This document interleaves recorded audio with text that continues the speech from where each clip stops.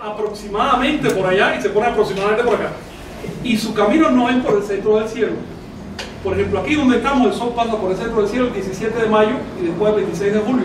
En los demás días no pasa por el centro del cielo. Entre el 17 de mayo y el 26 de julio el sol se gira hacia el norte. Eso significa que el resto del tiempo está girado hacia dónde? Hacia el sur. Vamos a dibujarlo así. A ver, esto un poco para allá. Mira. Digamos que esta es la superficie de la Tierra. Por aquí sale el Sol. Bien, aquí está el cenit. Y se va a poner por acá. En el día del paso cenital el Sol hace exactamente esto. Pero en otros días se tumba un poco.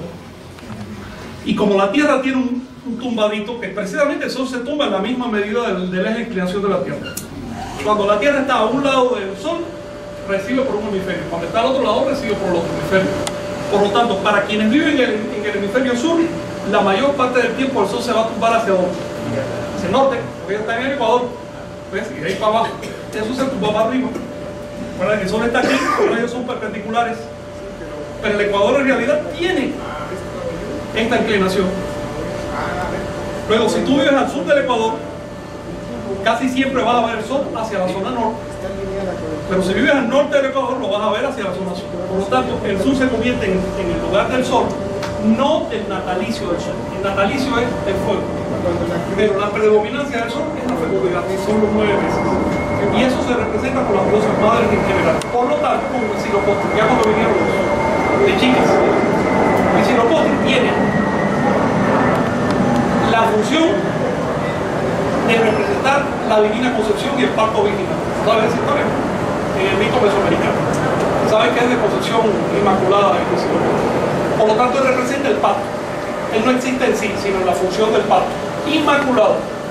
Luego, él es la, la ¿por qué se le llama madre tierra? Porque, porque parió. Él es la evidencia de la madre tierra.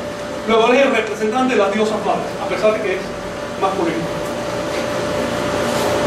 Esto es análisis iconográfico básico. Si en un día nos metemos con eso. ¿Alguna cuestión, cuestión más? De, de, hecho, yo tengo la suerte de vivir, puedo ver el sol salir, lo veo diario y sí, yo he visto salir acá y ahora eh, estamos aquí en febrero, ya me está saliendo por acá, justo atrás del de vista. Y, y, me acuerdo que dices, todo el año lo hace eso. El Sol tiene un desplazamiento en el horizonte, su punto de, de, nacimiento tiene un desplazamiento de 4 grados. Fíjate que eso debería ser parte importante de nuestra cultura. Yo pongo una, la vida. una estela, eso determina muchas cosas. ¿Eh? En una estela puedo ir dibujando lo que yo veo. Sí, pues, no más con poner un mástil, por ejemplo, ir trazando las sombras.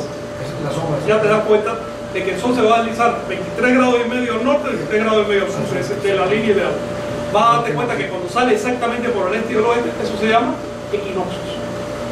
Cuando llega a su tope de solsticio de invierno, solsticio de verano. Y eso determina la cantidad de radiación y por lo tanto el calor, la fertilidad y todo lo demás. Luego debería ser algo importante para nuestra vida conocerlo. Sobre ese movimiento tan simple, los antiguos elaboraron el rudimento del calendario. Porque el rudimento, todo el calendario anahuaca se resume en una cosa, el concepto de cargador. ¿Recuerdas eso? La meme. ¿Y qué cosa es un cargador? Es un día astronómico dado. Es el día que el sol pasa por el centro. Eso se llama el día cargador. El día que el sol carga. O la preña, si quieres. Entonces, ese día, ¿cómo se llama ese día? ¿Cómo que se llama en cinco casas? Ambos del año se llama cinco casas. Es el día que le da nombre a año. Por la característica de que si un día del paso cenital ocurrió en un cinco casas, en el año siguiente va a ocurrir cuatro. Seis conejos. Y así sucesivamente. Eso es lo que le da nombre bueno, no, a los años. Los cargadores antiguos. Con los cargadores antiguos. Hoy, ese mismo día, el equivalente sería una lluvia y el siguiente.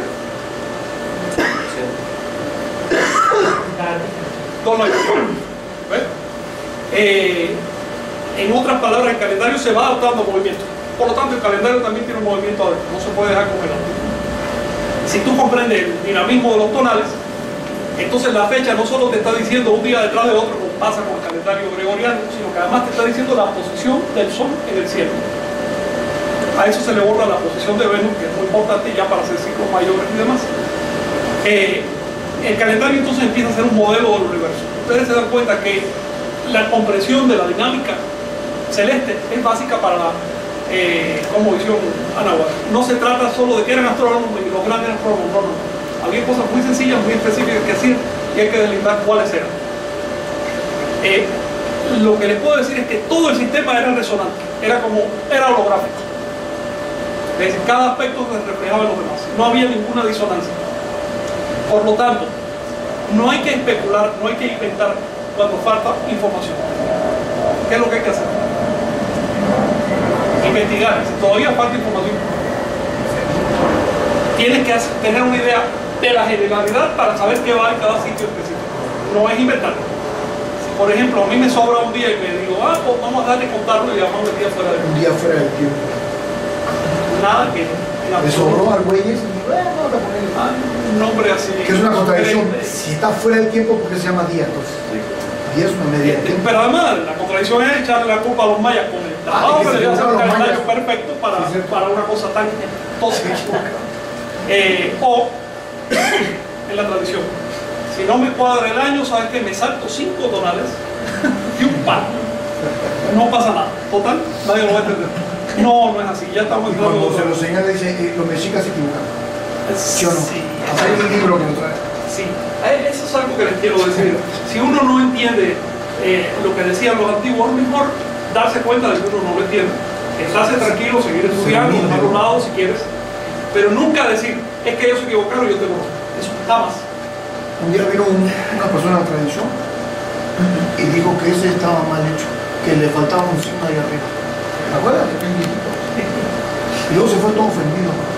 ¿Se imaginan esa preciosura? Esto es una cosa que no tiene nombre. Si no lo entiendo, no tiene la culpa. Y el Señor dice, es que ya que ahí arriba falta un signo. Se equivocó el que hizo esa piedra. ¿Sabes lo que significa esa piedra?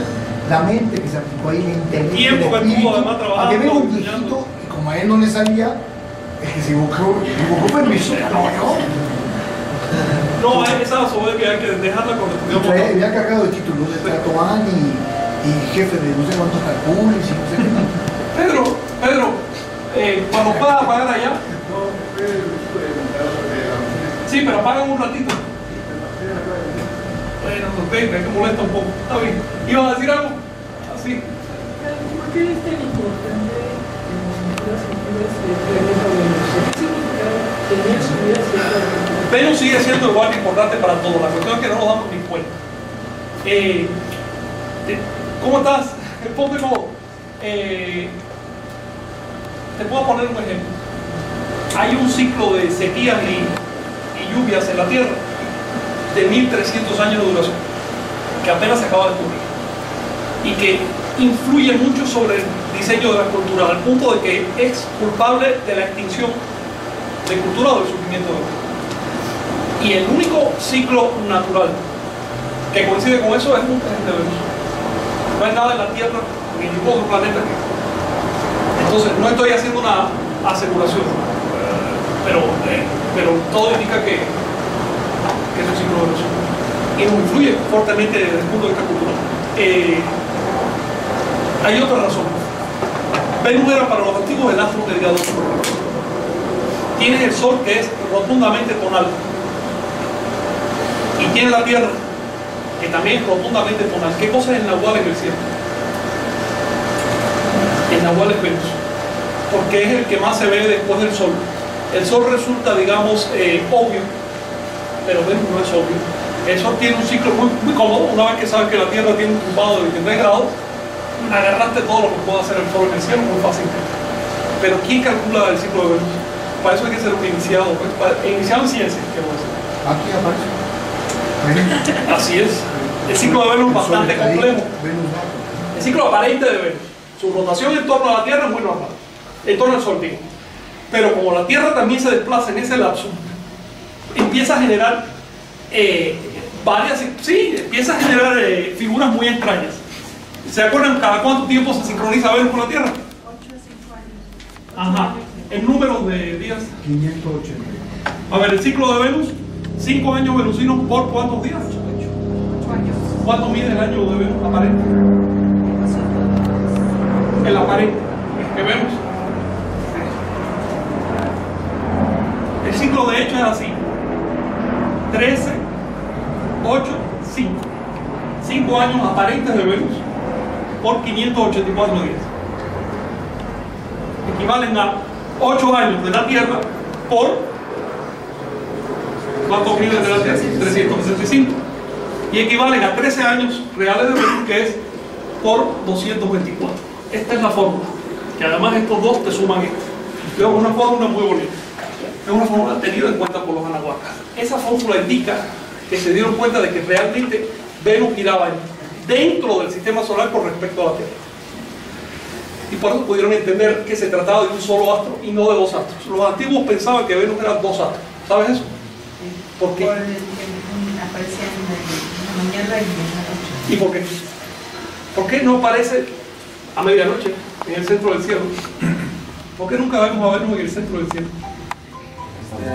Estorba el sol. Es cuando está el, pasa, está el sol y Venus está enfrente del sol, es cuando no lo vemos. Así es, así es, porque torba, mira, aquí tienes la Tierra, ¿verdad? Aquí tienes a Venus y aquí tienes al Sol. Nuestra noche está para acá. Cualquier Venus, Mercurio, que esté dentro, solo los vas a ver, solo los podrás ver al atardecer o al anochecer un ratito. Después ya, ya no los ves, ya te diste demasiada vuelta y no estás viendo para dentro del sistema solar. Ahora, Venus aparece de esos 584 días, pasa durante 8 días por delante del Sol y durante 90 días por detrás del Sol, así que de plano no se ve. El resto del tiempo lo divides en dos, son 200 y pico días, para acá y para acá, que se puede ver Venus, sea por la mañana o por la tarde, pero nunca a la vez, porque va a estar para un lado del sistema solar o para el otro. Pero no es que, no es que haya dos astros. Los antiguos al observar eso, la primera conclusión fue que había dos planetas muy similares. A uno le llamaron Vesper y al otro este. ¿Quién es Vesper? El vespertino y el matutino. El Venus de la noche recibió el sobrenombre de Lucifer o Luper.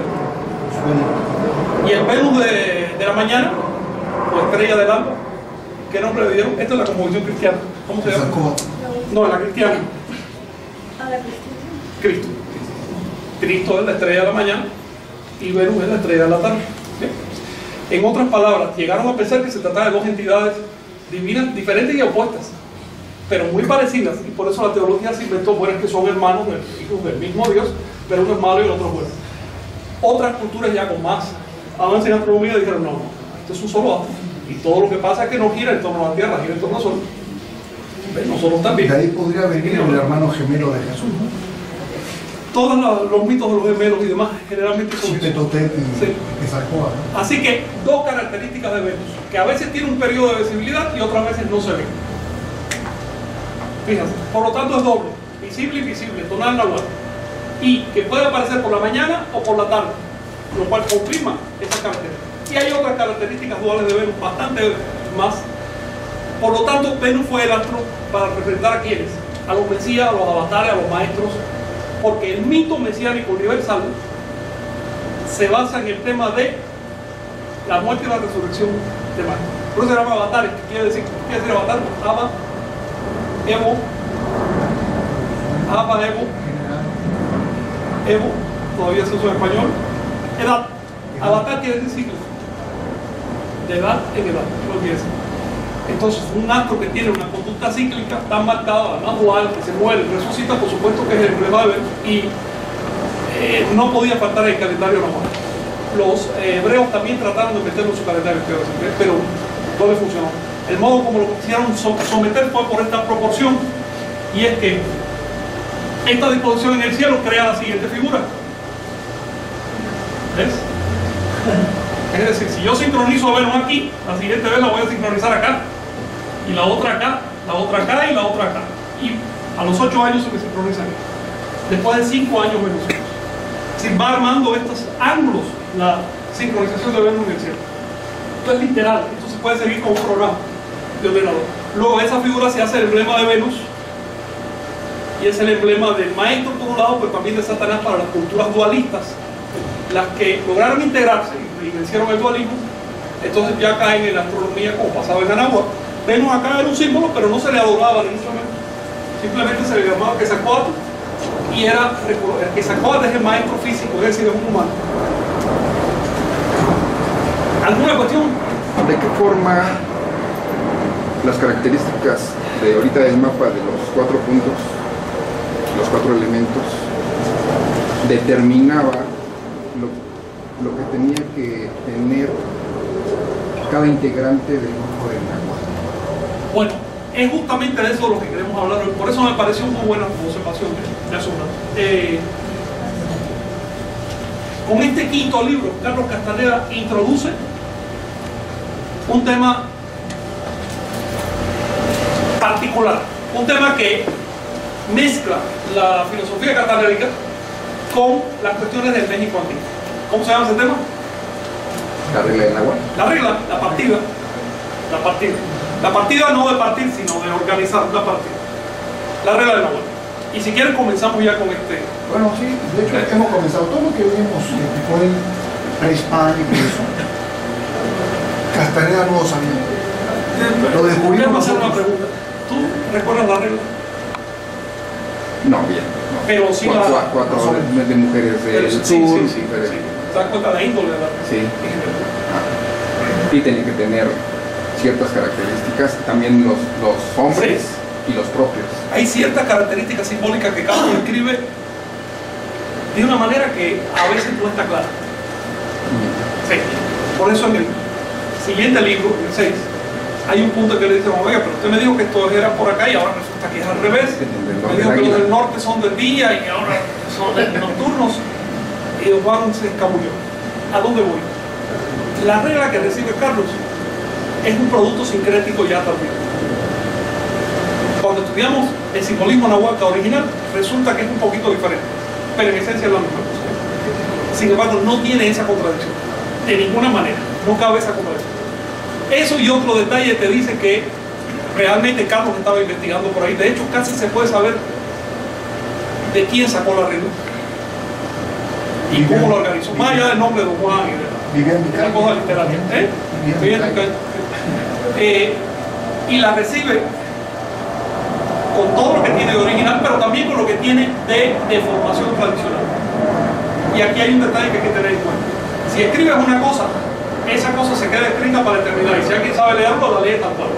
Pero si es de transmisión oral, tres, cuatro generaciones orales, puede cambiar.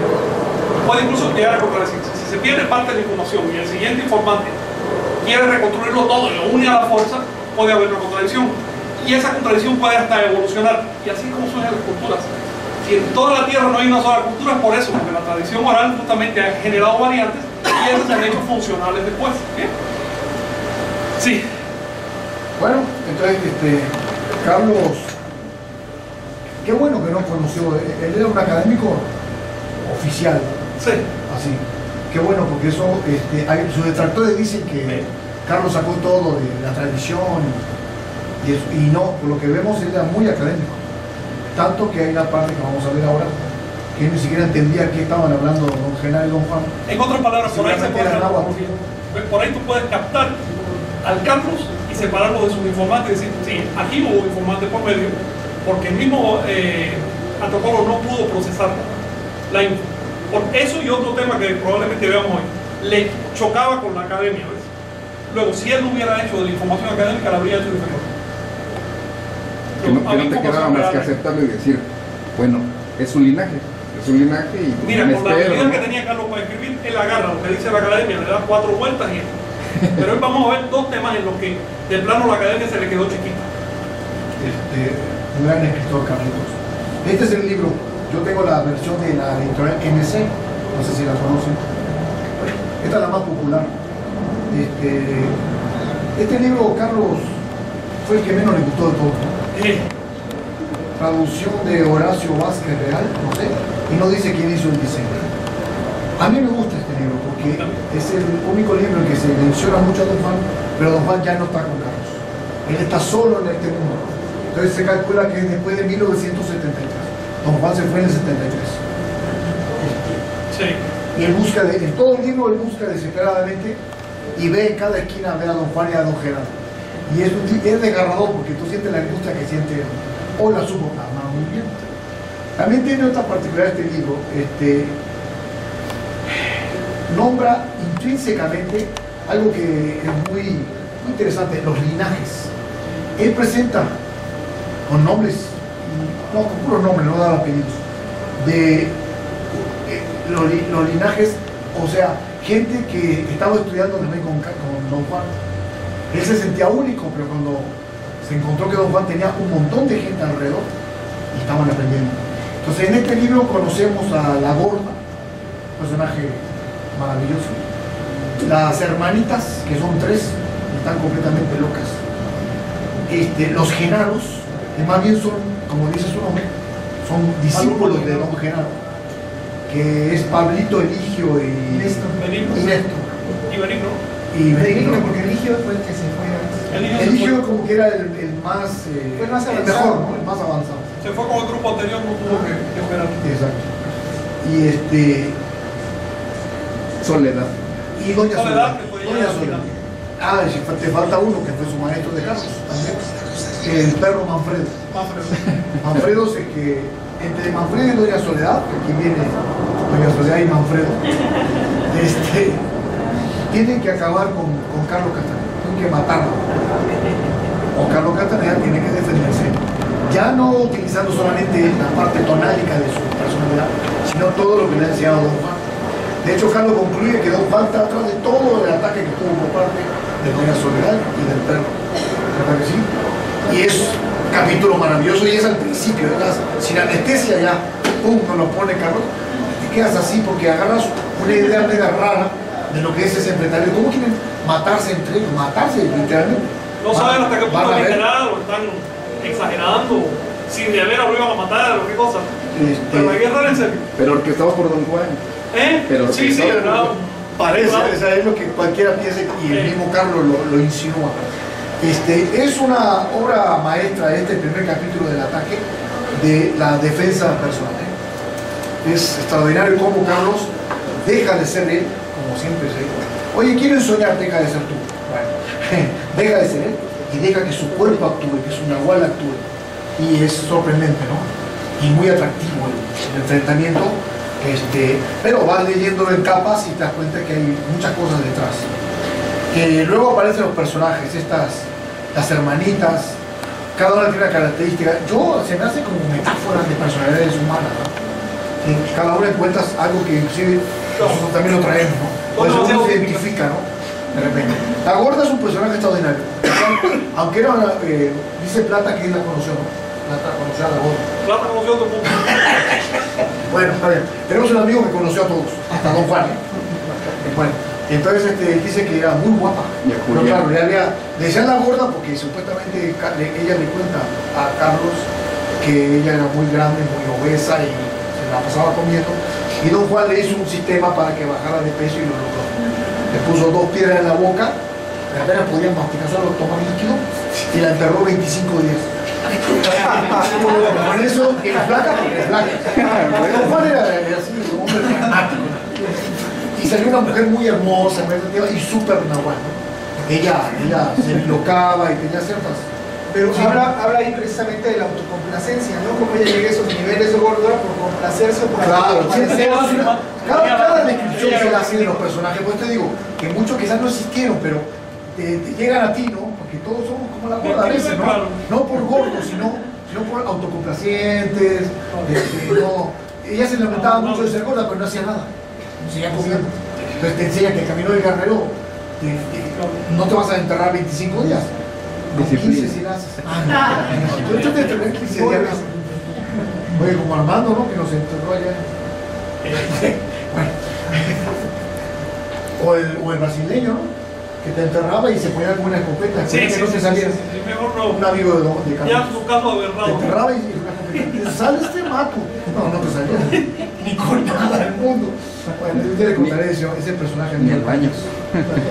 Este, eh, a mí me gustó mucho el libro y habla de algo interesante. Vamos a hablar de su- los linajes. Los linajes no vienen solamente eh, por Carlitos y Don Juan, ¿eh? los linajes siempre han existido. Y inclusive eh, hubo gente que se dedicó a perseguir los linajes y exterminarlos uno por uno, matarlos, o meterlos presos y torturarlos. ¿no? Les cuento del personaje este. el cura es Sí. el antinahual por excelencia. De hecho, pero antes, pero antes me gustaría que habláramos antes de la persona. Antes de la persona. La, la forma de Sí, sí, porque hay una diferencia. Eh, la impresión que te da la colonia es que los linajes fueron un medio de defensa. no, no, La verdad es que no es así. Sobrevivir. No, pero no es cierto, no, es así. Los linajes ya existían, pero desde hace milenios y siguen existiendo. De hecho, voy a escribirles el nombre de- del linaje de Nahuales en, en Nahua. Se llama Nahual Mecayo. ¿Sabes lo que es Mecayo? De Meca. Es decir, continuidad del linaje de, De acuerdo. de Nahuales. Es un término de- recogido por los cronistas desde siglos antes de Castaneda y demás, que dice que sí, que había linaje Nahual. Pero si nos vamos antes de la lengua Nahual, ya había linajes, obvio. Los linajes ni siquiera son de acá. Los linajes surgieron cuando surgieron, surgió el chamanismo. La primera vez que surgió el chamanismo surge el linaje. ¿Por qué? ¿Por qué organizarse en linajes? ¿Por qué crear un linaje? Por Para supervivencia. transmitir, es el único que puede transmitir la información. Y, eh, preservarnos. claro, De muy había- Los nahuales siempre fueron perseguidos la historia. siempre. Y, sí, y son es una, es una forma de organización que te, te da defensa, te da cohesión, pero permite además transmitir. Hay una cuestión con las enseñanzas nahuálicas. Puestas por escrito vale poco. Por eso acá no hay que tomarlo con pinzas. Porque si te lo tomas literal, puede que te quedes adorando Castaneda, pero no realizando la enseñanza. Hay que ir un poco más allá de la forma literaria y darse cuenta que la energía tiene que ver con cada uno de nosotros en lo particular, no a través de grupos ni nada de eso. El linaje nahual no es una iglesia, no es un grupo. Tiene una estructura, es algo completamente creado para algo, tiene una funcionalidad.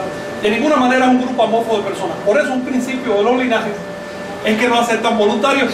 Si alguien está muy interesado en el chamanismo, por lo general, no se le da cabida. Si esa persona tiene verdaderamente poder, crea su propio linaje. Y si no tiene poder, se pasará la vida buscando un linaje para acá y para allá y todo lo demás. Los miembros de los linajes, los miembros de fila, por lo general son capturados. Y son capturados en contra de su propia voluntad, como el caso de la gorda. Digamos, la gorda no tenía la menor idea, ni el menor deseo tampoco de pertenecer a un linaje, ni de saber nada de brujos, ni tenía idea de que ella eh, lavaba ropa en casa de un, de un chamán. ¿Cómo fue la historia de, de la gorda lavando ropa y que le... En casa de La, la rodearon un Sí, montón de, de polillas, ¿no? ¿No fue Sí, ahí? que había unas polillas alrededor de ella Y don Juan la vio y- la agarró ¿Y qué hizo? ¿Qué cosa le hizo don Juan? la movió hacia el norte. Le volvió la cabeza. ¿Cuánto rato le volvió la cabeza?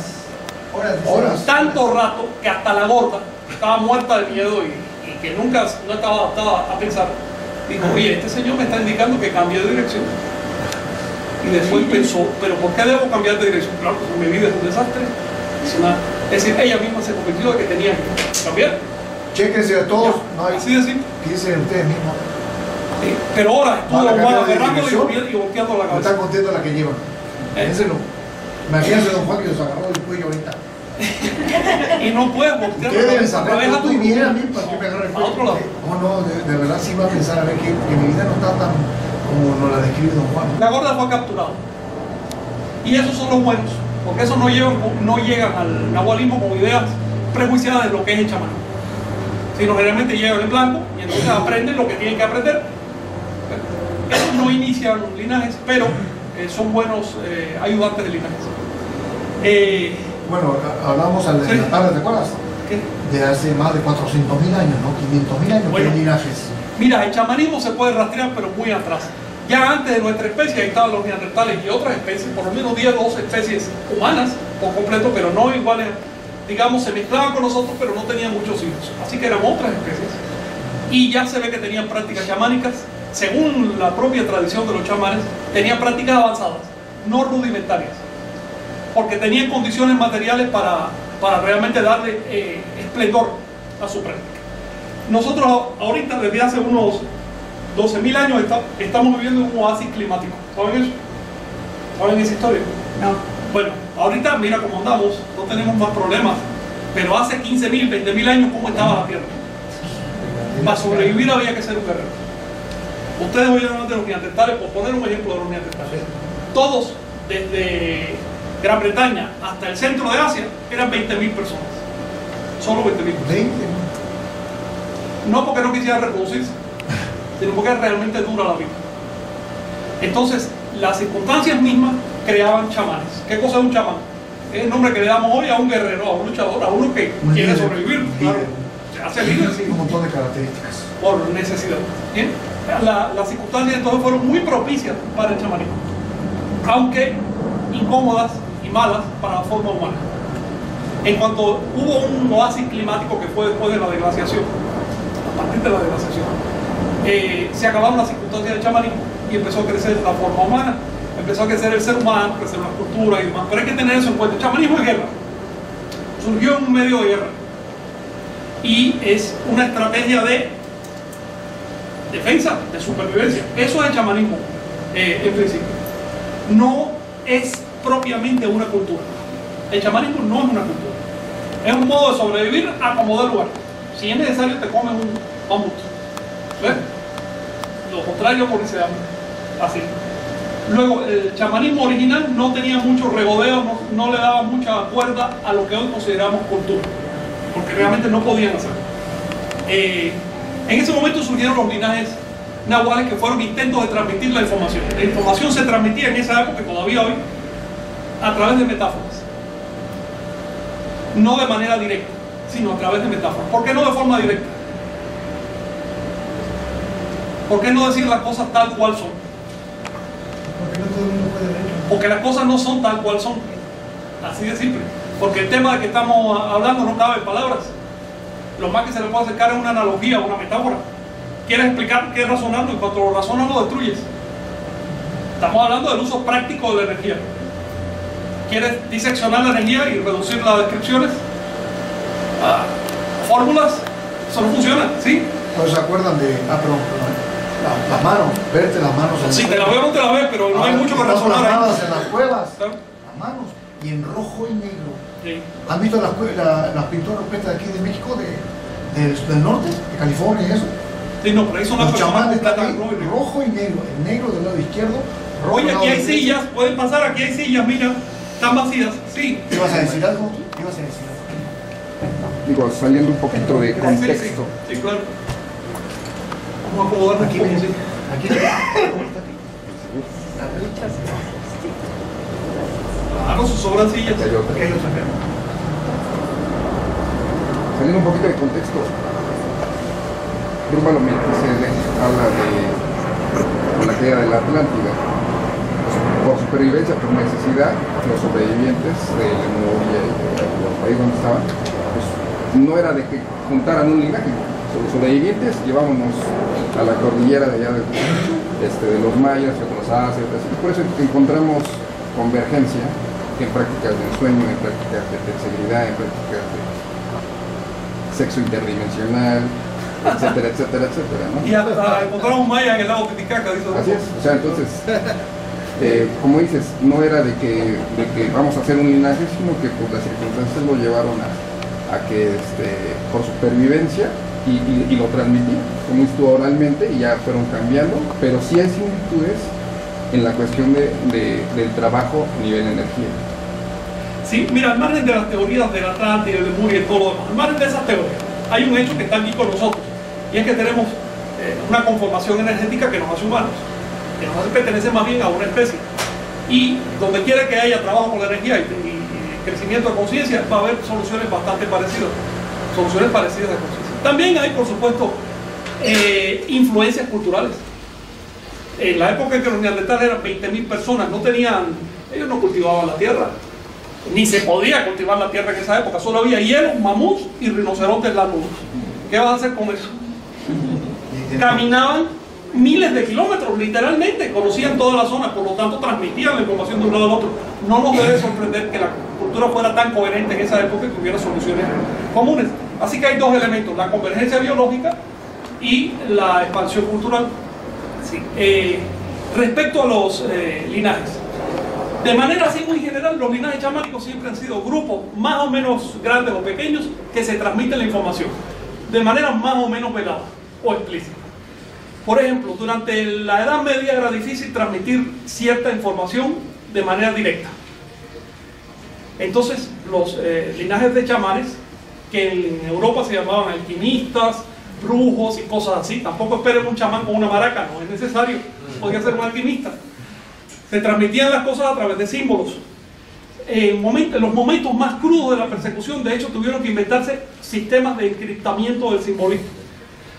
Eh, sistemas complejos de encriptamiento. Les voy a poner un ejemplo por, en el caso del lenguaje alquimista. El lenguaje alquimista europeo es una estafa, es una falacia. Si tú decodificas ese lenguaje, no vas a llegar a nada. Si acaso una infección sexual es lo más parecido que, que te va a dar.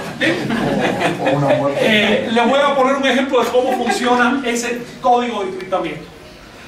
Esto es un cuento de ciencia ficción. Creo que ya se lo conté una vez. Les conté el cuento de la oficina de telépatas.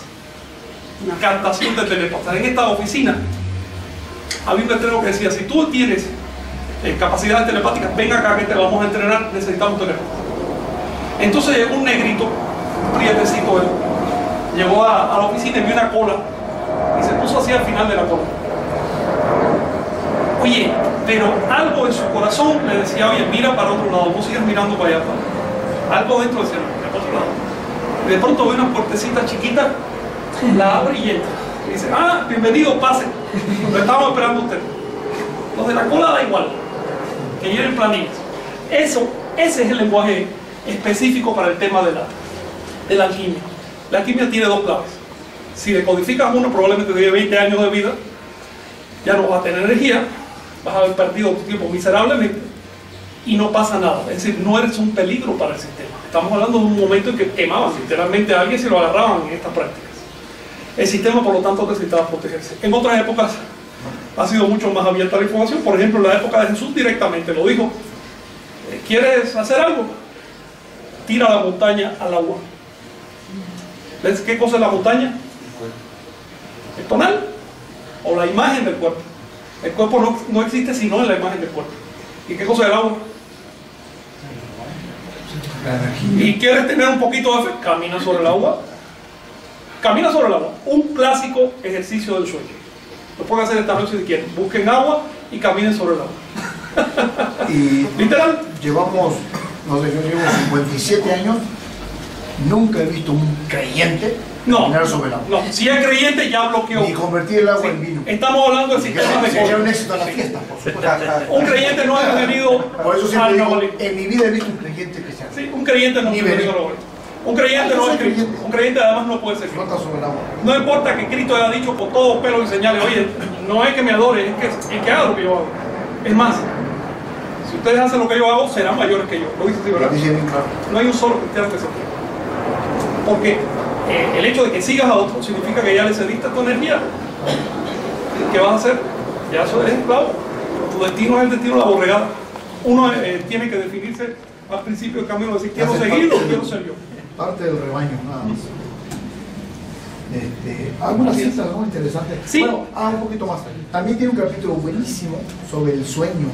Él recapitula y Sí. hace cosas interesantes sobre el sueño. Y les voy a leer algunas. Ah, no, el Eh, con el linaje. quería quería, Vega, quería platicarles, sí, sí, Ah. sí, te acuerdas de eso, quería platicarles de algo. El, el libro, hasta donde yo lo entiendo, tiene dos, dos partes. Tiene un contenido que es el acecho, y portado con otras cosas, el sueño y demás, pero sobre todo es el libro, el libro del acecho, lo más parecido a un libro de acecho que él escribió. Y tiene una forma. El acecho es el contenido, pero la forma es el linaje. El linaje tiene una determinada estructura. Le dijo eh, la gorda a Carlos, nosotros formamos parte de una partida. Nos- eh, fulano tiene tal función, el otro tiene la otra. Es decir, nosotros no somos una fila de gente en, una iglesia, para nada, sino que tenemos trabajo específico. Ahora, en, en el México antiguo los linajes evolucionaron. Se convirtieron en nahualmecayos, linajes nahuales, y algunos llegaron a ser muy grandes tanto como para tener 25 mil personas ¿eh? de una vez, a la vez. Es decir, eran enormes, enormes estructuras, bien organizadas por el tipo cuatripartita, tripartita, esa cosa. Pero, eh, por supuesto, eso requería un apoyo del Estado, un apoyo de la sociedad en general. Eh, esas personas, ¿qué cosa eran? No te imagines el brujo que vemos hoy en nuestras imágenes folclóricas. Un nahual en el México antiguo que vivía, por ejemplo, como aquí cerca de Tenochtitlan había un monasterio donde había 25 mil personas retiradas para prácticas nahuales. Ellos tenía que sobrevivir de algo. El Estado les pasaba una asignación. Porque ¿cuál era su función social? Despertar Sí, varias. Las principales eran un modelo. ¿Saben qué? Segundo, era un laboratorio. Un laboratorio psicológico. De ahí venían las reglas, de ahí venía la- la- el conocimiento, venía todo lo que hacía que ese- esa civilización se mantuviera si no hubiera caído. Sí, Moctezuma agarró un día un grupo de esos y los mandó a buscar a, a que fueran a ver a Coatlicue. 70, ¿no? Creo que. Fíjese lo que estoy diciendo. ¿Conoces historia? Agarró 70 ¿Conoces la esa guardia de? Moctezuma y los mandó a ver a Coatlicue. Pero no que Coatlicue es un mito, eso no. Y la encontraron. Claro. La encontraron en el sueño, en el mundo amarillo. En, en las dunas. Y se empezaron a hundir en una arena amarilla en los 70. Ey. Y ahí estaba ella, toda andrajosa y sí, seguía barriendo. Y no hizo ningún regalo. Y dice, ¿qué pasó con mi hijo? Ah, Huitzilopochtli, sí. ¿Y qué, qué pasó con el, el rey ahora? ¿Y vive bien? No, y se, ya se murió hace muchos años. Y se enojó. ¿No han leído eso, ah? eh, regresaron como 12, creo. Nada más quedaron- 12 y Montezuma los, creo que los encerró de por Los vida. mató, ¿no? Sí, como, eh, eh, el famoso dicho de mata al mensajero, ¿no? Sí. Cuando te dan malas noticias. Los encerró. Sí, No, en, el viaje se quedaron más Historias 60. fabulosas. Se quedaron como 60, se quedaron en el otro lado. Eso debe enseñarse en las Sí, porque el- el- hay un área de la conciencia que acá en el nahualismo y en otras tradiciones se le llama las dunas o, o el desierto, el desierto amarillo y demás. Te empiezas a Que, eh, que y te puede sentir perder, pesado, sí. te puede perder tranquilamente. Eh, Y ahí entraron ellos, lo describen muy bien. Sí. Se lo contaban al cura, a Durán, ¿no? A Durán. Y Durán, por suerte, Durán tomó un tanto tomó decían. notas. No sí. puso cosas de él, ¿no? pero las tomó, sí. Este, entonces, por suerte, tomó todo lo que leían. Ahora han dicho, tan locos estos tipos, ¿no? Pero lo, por suerte lo tomó. Ahora bien, cuando llegaron los españoles, Cuando los le dijo, sufrieron una le profunda... ¿eh? Su mundo se va a acabar, le dijo. Sí. No vengan a pedirme nada, se acabó. Trataron mal a mi, a mi hijo. Bueno, esta es una descripción eh, folclórica Claro, de un fenómeno de otro tipo. De un fenómeno, pues, como les digo, hay cosas que no se pueden decir porque no hay palabras, no es realmente porque haya secretismo, ni mucho menos, sino porque la lengua es un consenso colectivo bastante pobre todavía. Solo manejamos que será 50, 100 mil palabras. No, no, eso no basta para entender el universo, el universo es mucho más grande. Entonces, eh, eh, hay experiencias que se dicen a través de metáforas y uno las percibe. Yo les sugiero buscar las dunas amarillas, es relativamente fácil. Es lo que pasa cuando dejamos de desnatar el mundo cotidiano. Es decir, cuando dejamos de, ¿cómo diría desnatar? A ver, ¿cómo entramos a las dunas? Al limbo. ¿Cómo entramos al limbo? La iglesia católica se llama el limbo. El limbo es para vivirlo, no para creer. ¿Ok? Si lo crees no pasa nada, eso es lo de menos, además, no va por ahí. Pero para vivirlo es una experiencia interesantona. Pero ya lo de continuó Benedicto, ¿eh? Sea, da igual. Eso es anterior, Eso, no. es chamánico, no eso no es católico. Ni el purgatorio, nada. Benedicto, el anterior a este. Directo para el infierno. Entonces, Para arriba, directo, lo agarró. Quiso ahorrar burocracia. ¿sí? Dos mil años que lo metieron. No te digo que es un El tipo más viejo que La el religión en el planeta Tierra es un desastre. Eh, sucede que cuando dejamos de eh, percibir el mundo cotidiano, pero todavía tenemos suficiente energía como para armar un mundo y seguimos en silencio mental, la percepción se reduce al mínimo posible. Empezamos a ver ciertas cosas estereotípicas, todas las ven, parece que es una precondición biológica, porque es, toda la cultura. Y una de ellas es que el mundo se reduce como una especie de desierto de color amarillo Dorado como azufre. o anaranjado, así, Rojizo. bastante fuerte, rojizo. Sí. Pero bien, eso son experiencias por si las sienten. Primero, no tener miedo. El peso aumenta. Uno se siente pesado. Puede sentir uno que se hunde en esa arena. Mientras más lo piensas, más te hundes. Ahí la cuestión es darte cuenta que estás soñando y que por lo tanto no hay un cuerpo, solo la imagen del cuerpo. Y aprender a fluir. El limbo está rodeado por un océano. Y el reto es lanzarse a ese océano y darnos cuenta de que somos un pez. ¿Ok? Así que otra imagen que conviene para el sueño es la imagen del pez. No por casualidad los mediadores, como a Jesús o a que sacó a y demás, el animal que se les asocia, ¿cuál es? El pez. En, una, este, Sí. En un relieve maya había un, un- un personaje que tenía un, un pez aquí en la El cabeza. pez, sí, es, el pez es el emblema de quién? Del que nada, ¿por qué océano? El océano. El oscuro El océano energía. El que nada, no necesita pies para avanzar. No va por la tierra tampoco como una serpiente. Y no se puede decir que vaya volando porque se trata más bien de un océano, no exactamente ahí. Eh, Digamos que lo perseguimos como si fuera agua. Es la naturaleza de la región subconsciente. La perseguimos así. Y ese pez explora lo que hay ahí. Es decir, explora nuestros motivos subconscientes que por lo general no son personales, los hemos cargado a la sociedad o a veces vienen de atrás, de, de épocas animales. Eh, cuando llegaron los españoles, los linajes se enfrentaron a una sacudida terrible. Eh, para ellos fue un buen momento. De hecho, eh, don Juan lo dice, en ese momento pues, Fue la mejor época La para, mejor nahuales, época para- para practicar el acecho, Sí. porque cualquier español te miraba y le caía mal, te mataba. y te mataron. Tenía que Ahí había que ser más perfecto. sí. O sea, envolverlo y meterlo a la De hecho, durante la civilización anahuaca, el, el nahualismo fue decayendo, decayendo, decayendo, fue asimilándose a la civilización y terminó como que amoldándose. Eh, la llegada de los eh, invasores fue un buen momento para ellos, se sacudieron y entraron en un ciclo de transmisión de la información que se llama el ciclo abstracto. ¿Cuál es la diferencia entre el ciclo anterior y el ciclo abstracto? Lo que ha leído ya acá, o lo pueden visualizar, sí. Es así como que llegaron y, y movieron el punto de encaje. Sí. Te traían ya. Sí, digamos que la civilización iba en una dirección y de pronto descubrieron que un pequeño grupo de gente de otro lugar, solo por tener experiencia política, experiencia política, lograron desarticular una civilización milenaria y dominarla. ¿Te imaginas el choque para el ego? Y el choque para todo, para todo. Los chamanes dijeron, espérate un momento, que es que ser chamán no te da eh, ventajas sociales. Aquí hace falta algo más y aprendieron a acechar. Para acechar tú tienes que abstraer. En la medida en que con- concretizas las cosas, ya no estás acechando porque las cosas te delatan. Abstraer es, como dice, decía Juan, tienes que ser capaz de ver al mismo diablo sin que nadie lo note. Carlos lo dijo después en- de una manera un poco, a, mi- juicio, un poco así flexible, un poco así como condescendiente. Dijo, abstrae tu idea de Dios. ¿Qué significa eso? quitarse esa carga, ¿Qué es abstraer? Llevarla al mínimo. reducirle. quitarle todo lo que no pertenece a ella. En el caso específico de la idea de Dios, ¿qué es lo que tiene que quitarle? La idea. La idea, La idea. La imagen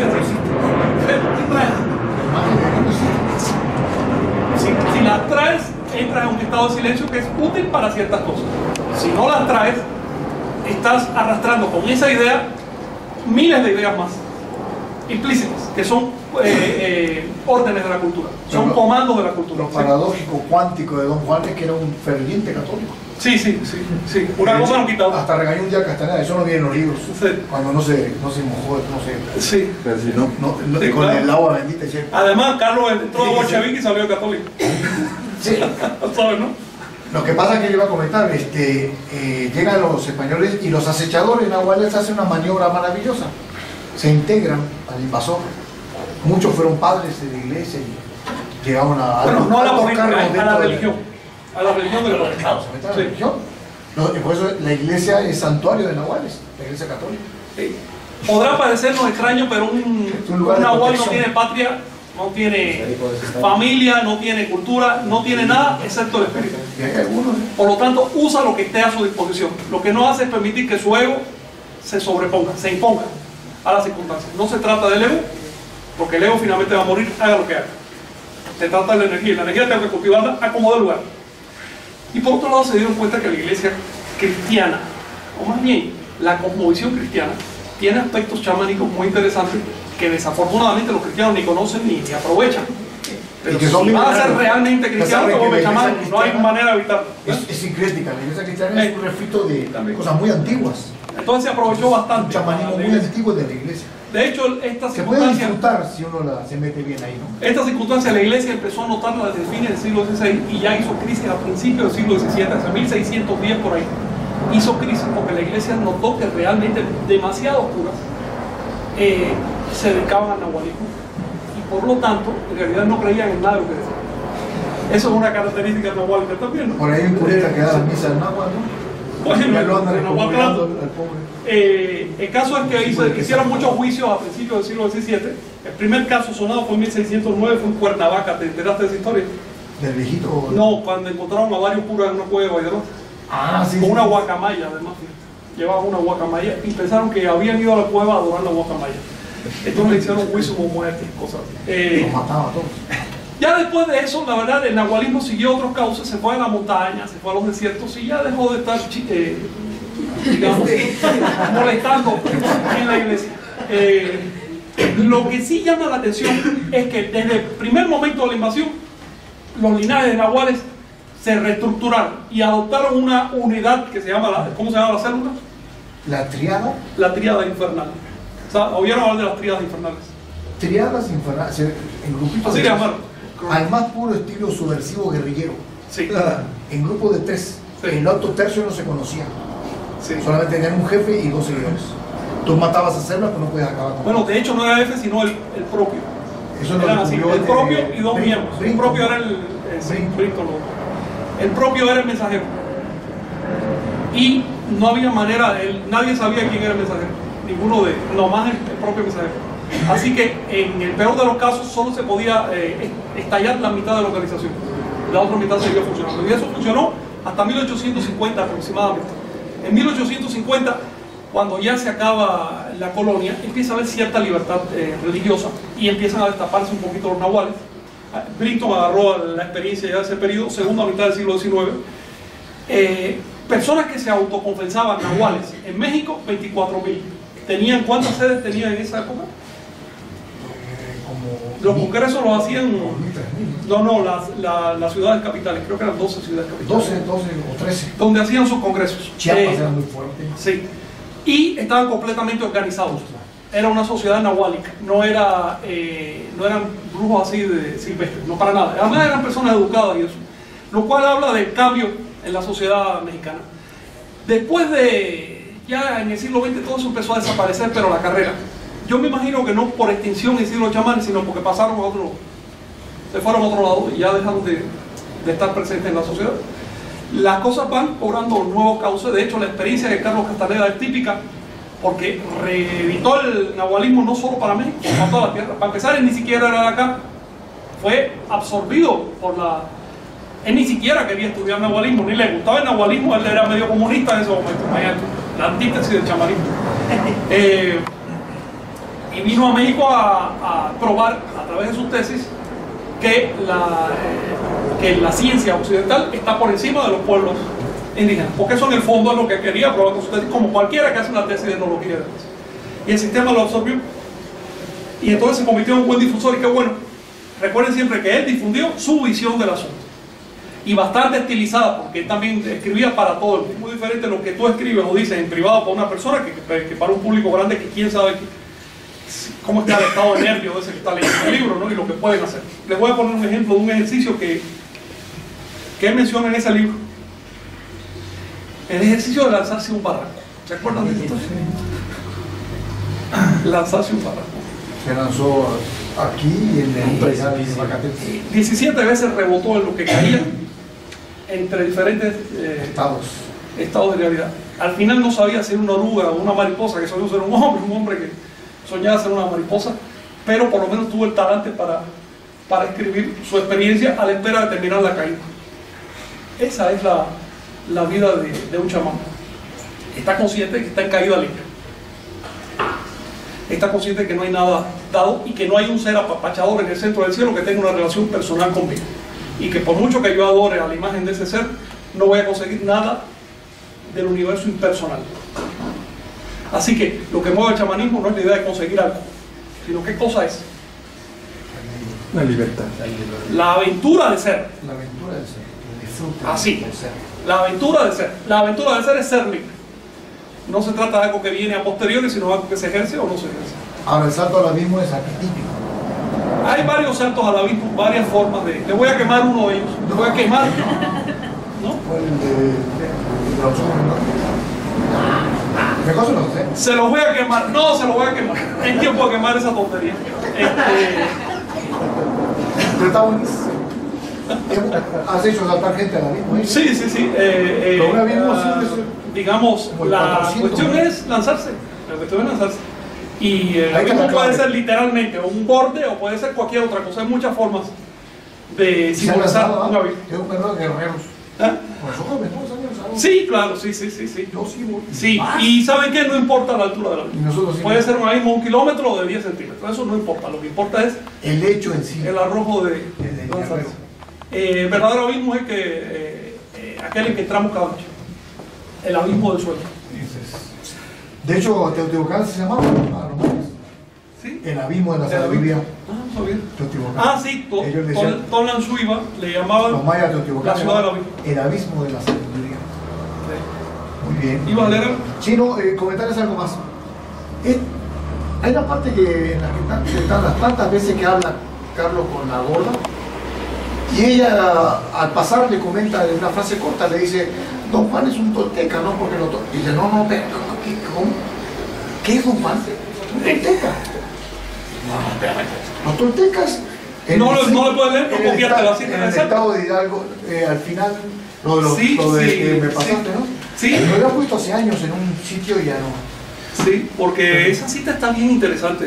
Bueno, pero previo a esto, él este, le dice, le da la cátedra de lo que son los toltecas, ¿verdad? Todos los conocemos, toltecas. ¿Quién le la tula? Todos los conocemos, ¿no? Hidalgo, tiene unos atlantes, ahí reinó Quetzalcóatl un tiempo. Este, y ella dice, la gorda dice, no, no, no, eso, eso no, no tiene nada que ver.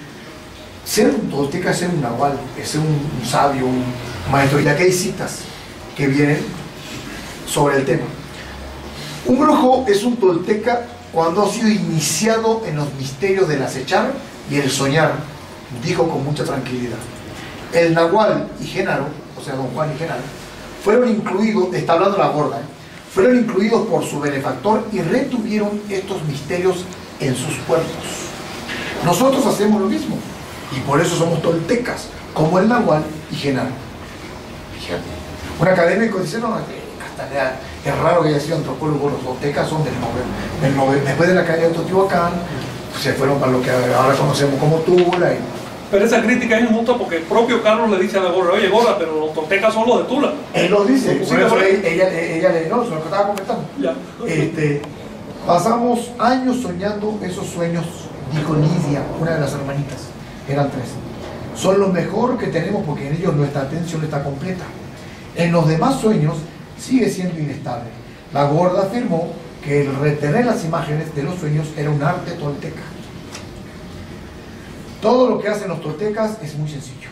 El Nahual afirmaba que lo único que se debía hacer para captar la segunda atención era intentarlo una y otra vez. ¿Qué me quiere dar a entender con eso de que costó dos toltecas hacernos? El Nahual dice, uh, tú costaste dos toltecas para que te hicieran como eres. El nuevo Nahual. Ah, porque aquí lo nombra el nuevo Nahual. ¿eh? Y él lo rechaza, Carlos lo rechaza rotundamente. Este, el Nahual nos hizo saber que éramos toltecas. Todos nosotros somos toltecas. Según él, un tolteca es un receptor y conservador de misterios. El Nahual y Genaro son toltecas.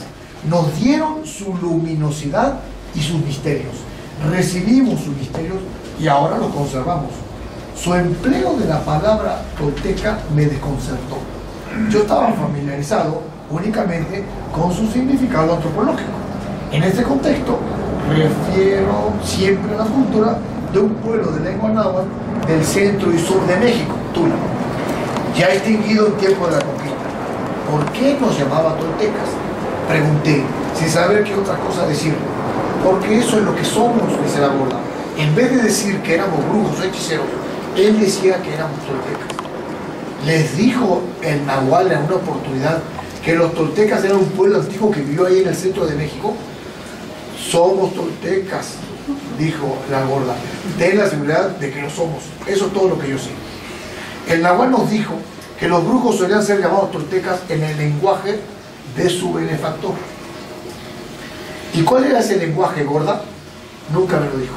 Pero Genaro y él hablaban un idioma que ninguno de nosotros entendía. Y conocemos cuatro lenguas indígenas, ¿eh? Sí. Náhuatl, Tebo Náhuatl, ¿no?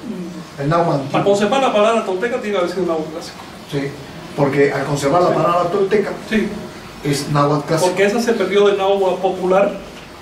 Solo si- eh, siguió significando artesano, pero no con esa connotación. Hay libros antiguos escritos por mayas que hablan de los toltecas. Sí, claro. Mucho antes de los toltecas, conocemos históricos. Sí. Eh, eh, de hecho, eh, si me permite, Sí, sí. es- es- son dos observaciones interesantes. Una es que la gorda no sabía de qué contexto salió la palabra. Eso y otra que Carlos tampoco sabía. Siendo un académico. Porque a Carlos lo prepararon como antropólogo. El, el antropólogo, el historiador sabe desde 1941 para acá que los toltecas son de Tula y Hidalgo. Y nada más. No tiene por qué saber que Tula en esa época no se llamaba Tula, sino Chico Cotito. no tiene por qué saber que Tollan, que es el nombre real, solo significa capital y era aplicada a casi toda la ciudad de Anáhuac. Es decir, un antropólogo común no tiene por qué saber esos detalles. El hecho de que Carlos no lo supiera y no pudiera en su libro dar más explicaciones al respecto es sintomático. Que significa que sí hay una tradición que todavía hoy, hace 40 años, usaba el concepto de tolteca en el sentido antiguo. Y es una tradición que no parece haber recibido ninguna influencia antropológica, obviamente. Solo a partir de Lorenzo y Luné, más o menos 60 y pico, y ahora con Florescano, es cuando realmente se ha retomado el sentido antiguo el que tenía hace 5 siglos la palabra tolteca. Que resulta que no tiene nada que ver con Tula. Tula fue una capital, pero como tantas otras. Tolteca más bien significa iniciado. Digamos que en español la palabra más cercana es iniciado, en el sentido misterio. Iniciado en los misterios. Por eso, de hecho, la gorda le menciona la palabra secreto. Misterio, ¿no? Misterio. Llevamos el misterio de esos nahuales en nuestros Y por eso pueblos. son toltecas. En nuestros pueblos, algo sorprendente. Un iniciado mistérico no es uno que guarda conocimiento que los demás no pueden saber, es una tontería. No hay nada secreto en el mundo, el mundo la, el- la energía es una, el universo compacto. Luego, realmente no hay secretos. Hay, si acaso, imposibilidad de transmitir que eso es otra cosa. ¿sí? Pero, ¿cuáles son estos misterios que guarda el Tolteca en su cuerpo? No en la mente. Las experiencias de poder Exactamente. las experiencias de poder. Cualquier experiencia es propia, por humilde que sea. La experiencia del sabor del mango es difícil de transmitir a una persona que no ha probado mango. ¿Ves? Tú puedes decir un montón de cosas, pero ese, ese detalle así, no, no lo puedes decir. Y así pasa con cualquier, con cualquier experiencia del nivel que sea. Por lo tanto, una persona que tiene ciertas experiencias y ella lo define como experiencia en la segunda atención, eso es un tonteca. Eso es definición antigua. Segunda atención, ¿qué cosa es? El sueño. Bueno, a través del ensueño, el ensueño es una puerta para llegar a la segunda atención. En el mundo del limbo todavía no estamos allí. En el mundo de las dunas amarillas estamos tratando de llegar a la segunda atención. ¿Ves? Eh, ¿Qué cosa es la De segunda ahí atención? vendrá entonces el segundo anillo de poder. ¿Qué cosa es el primer anillo de poder? La consensuación de... El consenso cotidiano. El consenso. Hacemos un consenso de que las cosas significan lo que significan y después de 12, 13 años ya lo damos como un hecho. Entonces somos individuos adultos seis. Bueno, ya un niño empieza a consensuar, pero todavía un niño hasta los 10 años puede patinar y nadie dice que está loco. Pero si ese patinaje lo comete uno de 20, ya eso no se acepta. Es decir, aprendemos a consensuar. Y el consenso es tan poderoso que nos cae encima como una camisa de fuerza y no podemos sacarnos eh, el consenso. Por ejemplo, aprendemos a ver una silla como una silla, una mesa como una mesa, un vaso como un vaso. ¿Cómo puede desestructurar esas imágenes para ver lo que realmente hay? Si nos sacáramos esa idea de consenso cotidiano, ¿qué quedaría? En nuestro ver, en nuestro oler, en nuestro oír, ¿qué quedaría? La sensación. A ver, digamos, eh, dime alguna palabra que no signifique nada. ¿Eh? Una vez que le damos un significado a una palabra, ese significado se nos impone. Cada vez escuchamos la palabra, ser humano, Trompa. Dios, No lo que tú quieras. Trompa, significa trompa. Eh, no significa nada. cada vez que se nos impone en nuestra lengua esa palabra, eh, eh, eh, ya dejamos de percibir lo primero que percibimos. Sin embargo, cuando vas a estudiar una lengua ajena, resulta que todas las palabras son extrañas, no saben lo que significa, son sonidos en el aire. Cada palabra es un sonido en el aire, las palabras en español son sonidos en el aire, sonidos que tienen algunos significados de los cuales nosotros agarramos algunos y los adaptamos a nuestra experiencia previa. No hay nada muy fijo en todo eso. A esa, a esa suma de consensos o de semiconsensos se le llama primer anillo de poder. Es un anillo porque nos ata a todos. Y si no participas en eso, eres raro. De hecho, tiene grados. Porque, por ejemplo, podemos tener el anillo de cultura latina, que nosotros entendemos lo que es, pero puede que un individuo de otra cultura no lo entienda. Digamos, japonés puede que de pronto se queda como, oye, ¿por qué esta gente tiene... Todos los latinos resulta que son así. Pero lo mismo pasa con los asiáticos para nosotros. Tienen ciertas ideas sobre la familia, sobre cómo comer, cómo ser. ¿bien? Pero no obstante, asiáticos y latinos tenemos un anillo de poder un poco más grande, sigue siendo parte del primer anillo de poder, que nos hace darle a las cosas principales los mismos significados. Y por eso nos identificamos todos como humanos. Si de pronto hay un grupo que tiene entre sus significados que un cuerpo humano es para comer, eso le llamamos caníbales y ya nos entra en el consenso y entonces lo segregamos y decimos que son una tribu aislada por allá. Puede que hasta la protejamos, ¿no? pero no la aceptamos en nuestro consenso. Ahora bien, hay otro anillo de poder, el segundo. ¿Te iba a decir algo? Te iba a hacer, bueno, te iba a hacer una pregunta Sí. sobre, ya que comentaste sobre la, el idioma de la lengua, Sí. que yo tengo la idea de que los sonidos sí son importantes porque de hecho, bueno, cuando escuchamos algunas lenguas indígenas, hay sonidos bastante melodiosos. Alguien me explicaba, por ejemplo, bueno, la lengua náhuatl sí es simbólica y metafórica y de hecho se puede componer, una palabra se puede componer con, con dos palabras. Y en el, en el caso de la lengua maya, yo no conozco mucho la lengua maya, pero me explicaban alguna vez que los sonidos eh, eh, trataron de imitar algunos sonidos de la naturaleza. Entonces la pregunta es, ¿hay alguna lengua indígena que se asocie con, con las prácticas, eh, podrían decirse chamánicas? Toda lengua eh, va a la saga de un significado. Nosotros creamos las palabras para ponerle una etiqueta a un significado que ya está en la sociedad. Si creamos la palabra antes del significado, nadie la entiende y entonces nadie la repite y se olvida. ¿Ves? Así que toda lengua va a la saga de un conjunto de significados. No se trata de la lengua, sino de la sintaxis de la cultura. Ah, nosotros tenemos una cierta, captamos una cierta frecuencia por la forma de nuestro oído. Me estás diciendo que esos sonidos que capta el primate tienen algo de particular. Ah, sonidos en general.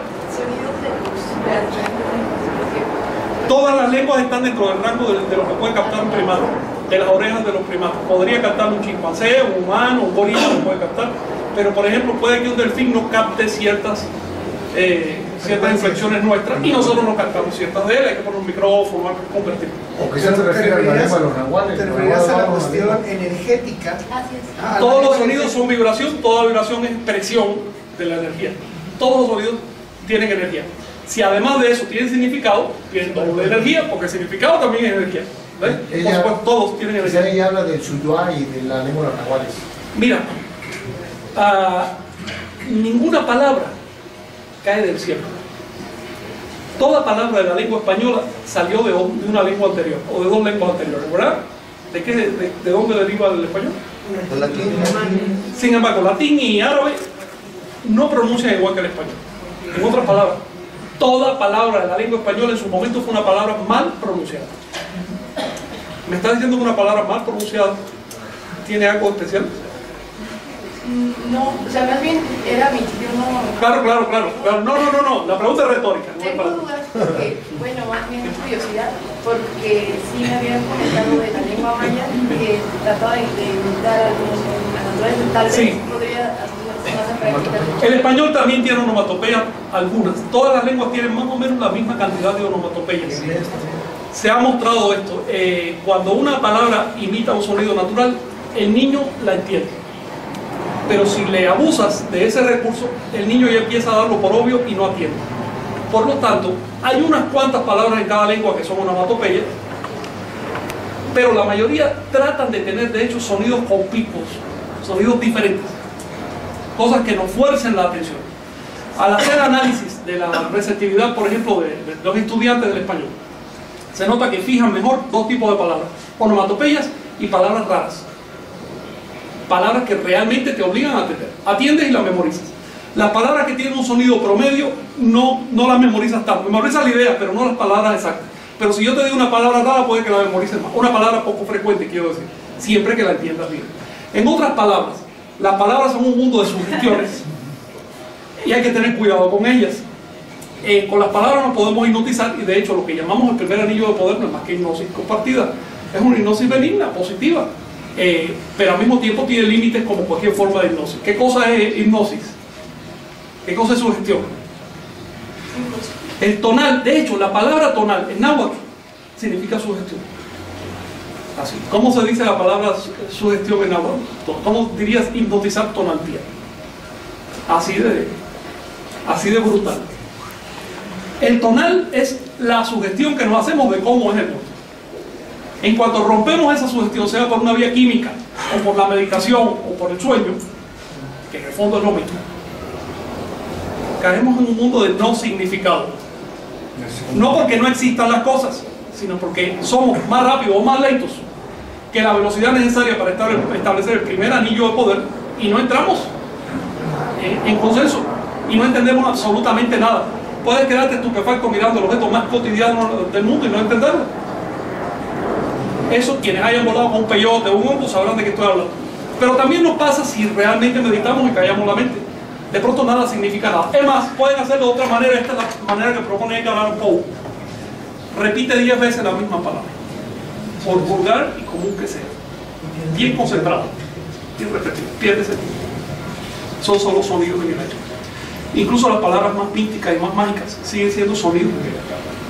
Si las usamos, qué bueno. Pero hay que evitar que nos usen. Las palabras en sí no tienen más poder que que nosotros les concedemos. Y los mantras. Esa es toda la palabra un mantra. Todas las palabras son mantras. Todas las palabras transmiten lo que transmite un mantra. ¿Cuál es la diferencia entre mantra y palabra? Además, eh, cumple un cumple, un- cumple una ¿Intención? premisa. Se Toda la palabra tiene la intención de pierde sentido. sugestionar. Si no, no la dices. Y de manera entonces que llega al inconsciente, llega al Lo que preconsciente. está diciendo es la diferencia. Como un mantra tú tienes la intención consciente de sugestionar a otro. Probablemente el otro no la tenga tan clara. Y con las palabras cotidianas ya eso pasó hace rato. Pero la primera vez que usaste las palabras, la primera vez que usaste las palabras en español, tú estabas muy claro de que con ellas estabas construyendo. Y jugábamos con las palabras. Y las deformábamos, las estirábamos a ver si el mundo cambia. Y resulta que sí, cambia. Ahora bien, cuando entramos en estados alterados de conciencia, por la vía que sea, si lo hacemos solo no es necesario comunicar ni consensuar nada. Pero si ya empieza a haber más gente, si esa experiencia empieza a ser cotidiana, digamos, si te sientas a meditar todos los días 8 horas durante un mes, oye, al mes revientas o te comunicas con otro en un estado superior de conciencia, en un estado muchísimo más rápido de conciencia, en un estado que estás viendo los significados habituales y también otros. Y puedes ver varias capas de significado e incluso puedes atribuirle significados caprichosos a las palabras. Esto es lo que propone Liu Carroll en la entrevista de Alicia con, ¿cómo se llamaba el cabezota? Junti Dunti, ¿no? Dumpty. Le, ¿Qué dice este señor? Las palabras significan lo que yo quiero, porque para eso les pago. Sí, les pago los viernes por. Así que significa lo que yo quiero. Carroll eh, en el, en el segundo anillo de poder, ¿eh? El autor de Alicia y Alicia del espejo. No me voy a dejar dominar por una palabra, la palabra que sea. Y todo surgió a raíz de la corbata. Bueno, el cinturón con la corbata, no sabía si era cinturón o corbata. ¿no? Entonces, ¿qué importa lo, el significado que tú le das a la palabra? Importa el que le dé yo. Es decir, es un huevo, es el centro del mundo. Es el dueño de las palabras. Eso hay que tenerlo en cuenta, porque en el segundo anillo de poder, cuando logramos entrar a ese tipo de consenso, que es el lenguaje especializado de grupos, entramos en significados bien sutiles. Puede, que usemos palabras muy cotidianas, pero los significados son bastante sutiles. Y con ellos podemos construir o destruir el mundo. Hay que saber cómo se hace. Son recursos de brujo. Y es toda una, una vida para aprender cómo se hace. Si una persona está en un estado alterado de conciencia y no eres consciente de esa situación o no eres suficientemente delicado con las palabras, puedes destruirle el estado. O puedes meterlo en un problema. Pero al mismo tiempo, y en el estado que sea, usando las palabras de manera apropiada, puedes construir un mundo. Por ejemplo, Carlos Castaneda no solo usa palabras para escribir sus libros, ¿qué más usa él? Sensaciones. Bueno, describe sensaciones a través de palabras. Eso es lo que describe a través de las palabras. Pero de modo directo, directamente. Él usa palabras y Simbolismo. silencios. Los silencios están representados por comas, puntos, puntos y comas, y párrafos. Después de leer un rato a Carlos, tú estás en un estado particular de conciencia si lo estás leyendo con atención. Estás en un tempo diferente del tiempo habitual. Es un tiempo que de pronto parece más lento, pero resulta que es más profundo y si llega el caso puede ser mucho más rápido. El ritmo. Es la característica de la, de la conciencia acreditada. ¿qué? El ritmo ¿no? que utiliza para. Es decir, él usa recursos, además muy recursos que podemos usar mecánicamente, ni siquiera es nada del otro mundo. Si aprendes a decir las cosas con la entonación apropiada, en el momento apropiado, hacer la pausa apropiada, puedes colocar una información o retirarla o puedes construir un mundo. Eso lo sabe cualquier terapeuta. Ustedes aquí, muchos, ustedes deben saber eh, mejor que yo cómo se usan esos Eh, recursos. grandes oradores, ¿no? Adolfo Hitler, Por ejemplo. extraordinario manejador de la palabra. Pero es decir, o sea, ¿cómo dice la escritura? En el principio era él, verde. Mm. Y dos, si quieren conocer que cualquier frase puede ser un mantra y muy efectivo, les recomiendo el libro del máximo representante de Osho en México, Sí. un italiano que se llama Prem Dayan, y tiene su libro nada más que me da pena decir cómo se llama el libro, se llama Mantras Mexicanos. Ya, lo, ya, hizo, Ah, ya. ya hizo el cuarto Sí, mantra, claro. ¿eh? que es el que sintetiza los otros.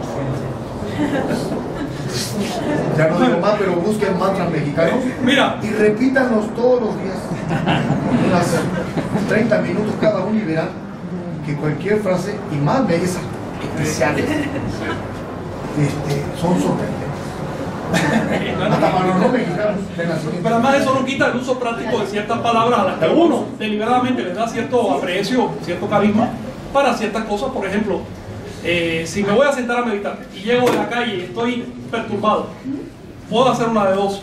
Imponerme de la fuerza a esa perturbación mental o escoger una palabra, puede ser, digamos, el nombre de un meteoro. Y recitarla tantas veces. ¿Qué estoy haciendo? No estoy callando eh, el, ruido, lo estoy polarizando. Después que lo polarizo lo puedo callar porque ya es un canal. Ceso ese canal y es sencillo. hay un grupito, entre, ¿no? Y dense data y platicamos como ahorita todos. Claro. Claro. Muy bien, ¿alguna frase va- hablando de palabras? ¿Sí? ¿Les doy? ¿Alguna cuestión que tengan? ¿Alguna cuestión? Sí, sí, sí, sí. Bueno, es que cuando estabas mencionando lo de Donald, pues eh, igual no está muy relacionado, pero me dio mucha curiosidad. Hay una, hay una parte en algunos de los libros de Castaneda que habla de, dice Don Juan,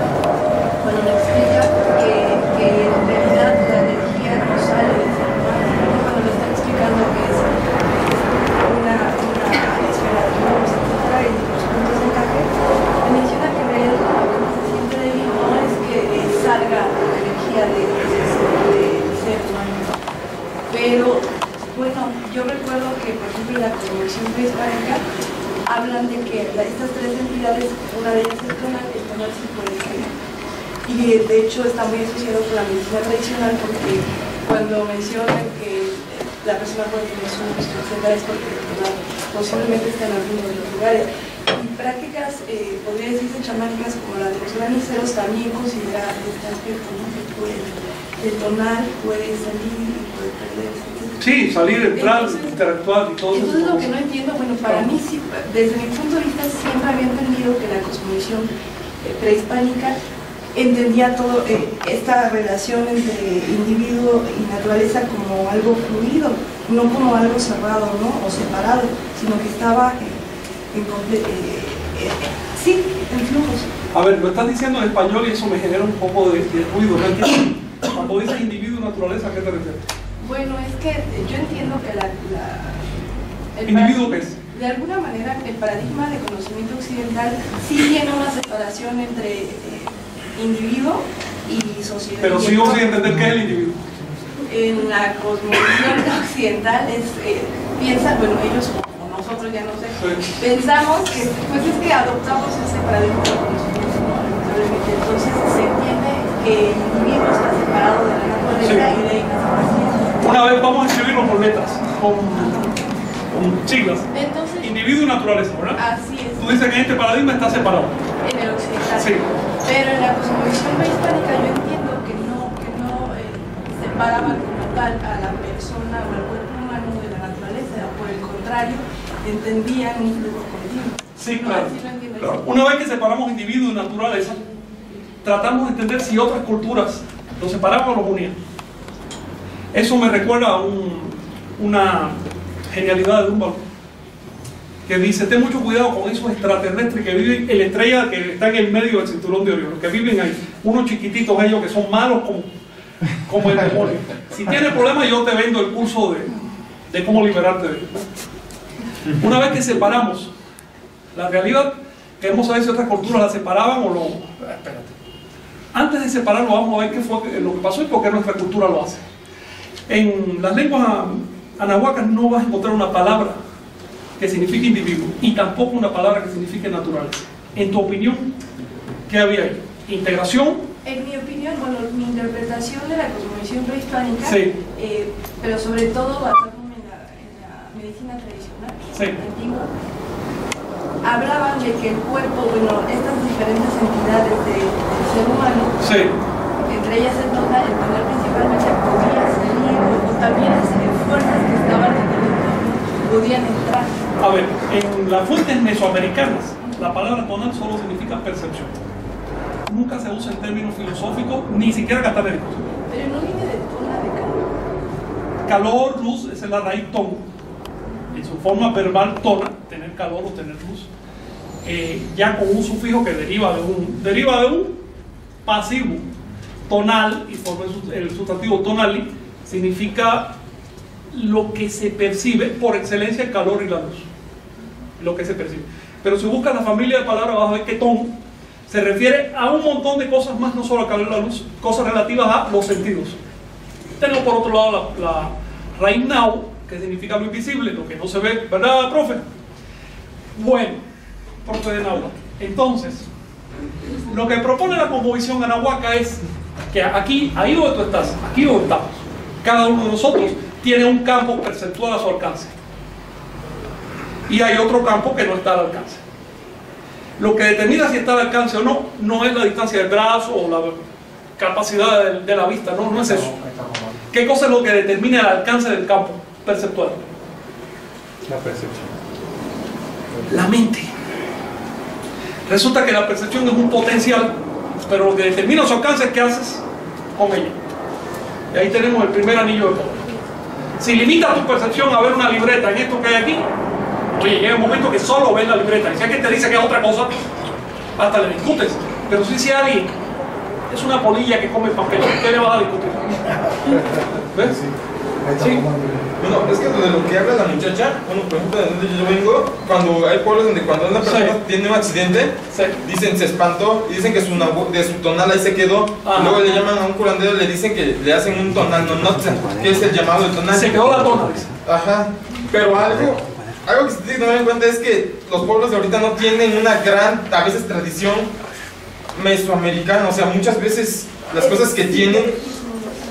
Por, por ejemplo, eso es lo que se dice ahorita. Y cuando lees un códice, igual en esos tiempos había gente que sí pensaba eso. Pero era como siempre, uno siempre tiende a pensar que una, que una cultura es una imagen nada más, pero hay varios estratos de la cultura y los diferentes estratos sociales, la gente cree diferentes cosas. Por ejemplo, yo, supongo que la gente que está menos educada creía eso, pero por ejemplo este Alarcón, el reporte dicen, ah, esta gente dice que hay dos mundos, uno de Nahual y uno de Tonal, y el Tonal son las cosas, ¿cómo dicen? Los... Dice así, esta gente decía que hay dos mundos. Uno es instantáneo y el otro está sometido al tiempo. Ah, unos, unos son Uno no es causal y en el otro todo es por merecimiento. En uno, los seres existentes se volvieron animales de inmediato. ¿Te acuerdas? Y en el otro, pues somos humanos y tenemos que cargar con esa cruz. Más o menos así. En otras palabras, no se trata de dos mundos en dos épocas o de dos mundos en dos espacios. Se trata de dos mundos aquí con nosotros. Hay un mundo lleno de ideas culturales que está tratando de entender otra cultura y hay un mundo con nosotros muy animal y muy evolutivo que está tratando de sobrevivir y que tiene. Pero ya que menciona el tema de la tona, lo que hace, el- por ejemplo, se cae una persona del caballo, sobre todo un niño, se cae en un lugar. ¿Y qué hace el chamán? ¿Qué hace el curandero? Va, uno Lo lleva. lo lleva o Si él va, posible. o él va con sitio. y va cantando o va rezando y se Ah. quiere atrapar al tonal y Sí, metérselo claro. otra vez. Esos son, ah, digamos, eh, apariencias de curandero para captar la atención de la persona. Pero además hace otras cosas. Por ejemplo, enciende incienso, ¿sí o no? Enciende incienso. ¿Qué está haciendo con el humo? O fuego. O fuego. ¿Qué está haciendo con eso? O quema copal.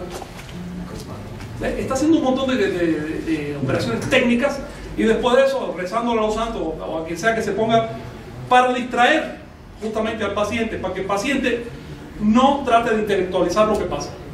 Lo quiere sorprender, lo quiere sorprender con un estado de alerta.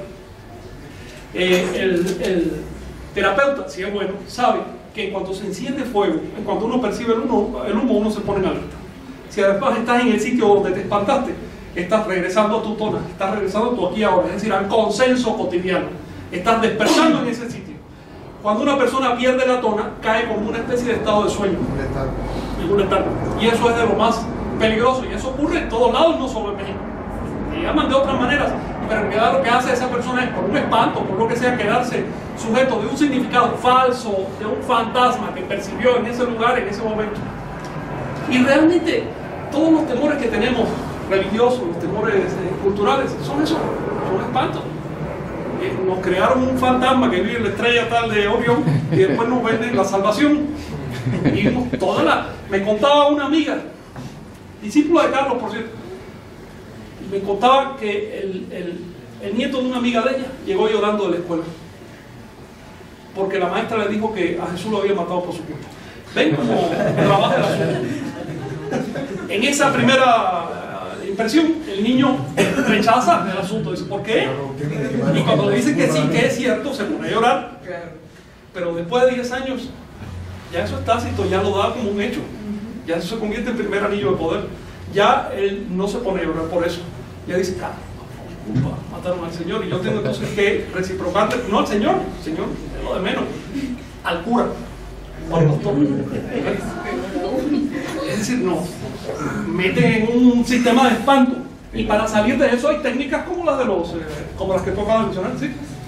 Digo, eso, lo del diezmo, es a lo que te refieres. Es un modo, pero en todas las religiones vas a ver lo mismo. Pero también es el autoflagelarse. Culpas. A ver, ¿quieres un espanto clásico que está creciendo cada vez más en nuestra sociedad y que conduce la energía en una sola dirección? Trump. Trump. No. No. No Algo más sutil se llama karma. Ah. Y según esta, tú naces con una carga de pecados. Y tienes que pagar esos pecados y, es- y eso va a terminar en que vayas a un templo y le des tiempo a Seguro que va a terminar así. ¿ven? Dependiendo. Hay mil maneras. Vete para la India para que vean que termina todo eso. Te dicen, "Ay, Eso es religión organizada. Es decir, te siembran un problema y después te venden la solución al problema. Tenemos que salir de ese estado de sugestión. Eso es sugestión negativa. ¿Cómo se, se sale con sugestión positiva? No hay otra manera. Una sugestión negativa sale con una sugestión positiva. Si te dijeron que eras un inútil porque no pudiste hacer algo en un momento dado, porque no te alcanzaron la fuerza o el valor, hombre, tiene que decirte 50 veces que no eres un inútil, que eres eh, capaz. Y, claro que te sacas esa sugestión. Claro, no hay que ser un idiota y decir cosas estúpidas, ¿no? Pero sí salirnos de las sugestiones negativas que nos metieron en la familia. Eh, lo que propone el, el nahualismo moderno, el nahualismo abstracto, es salirnos del folclore y empezar a ver lo común en todos. Lo folclórico era pertinente a ciertas sociedades y resolvía cuestiones en aquellas sociedades. Pero ya hoy puede ser hasta peor. Por ejemplo, un operativo de un chamán que te saca de un problema en un contexto cultural dado, puede que a una persona de fuera de esa cultura lo meta en un problema. Les voy a poner un caso que, de que yo fui testigo con una chamana a la que estuve ayudando durante un poco de tiempo en, en Morelos. Aquí venía, a esa, a esa chamana venía una chica inglesa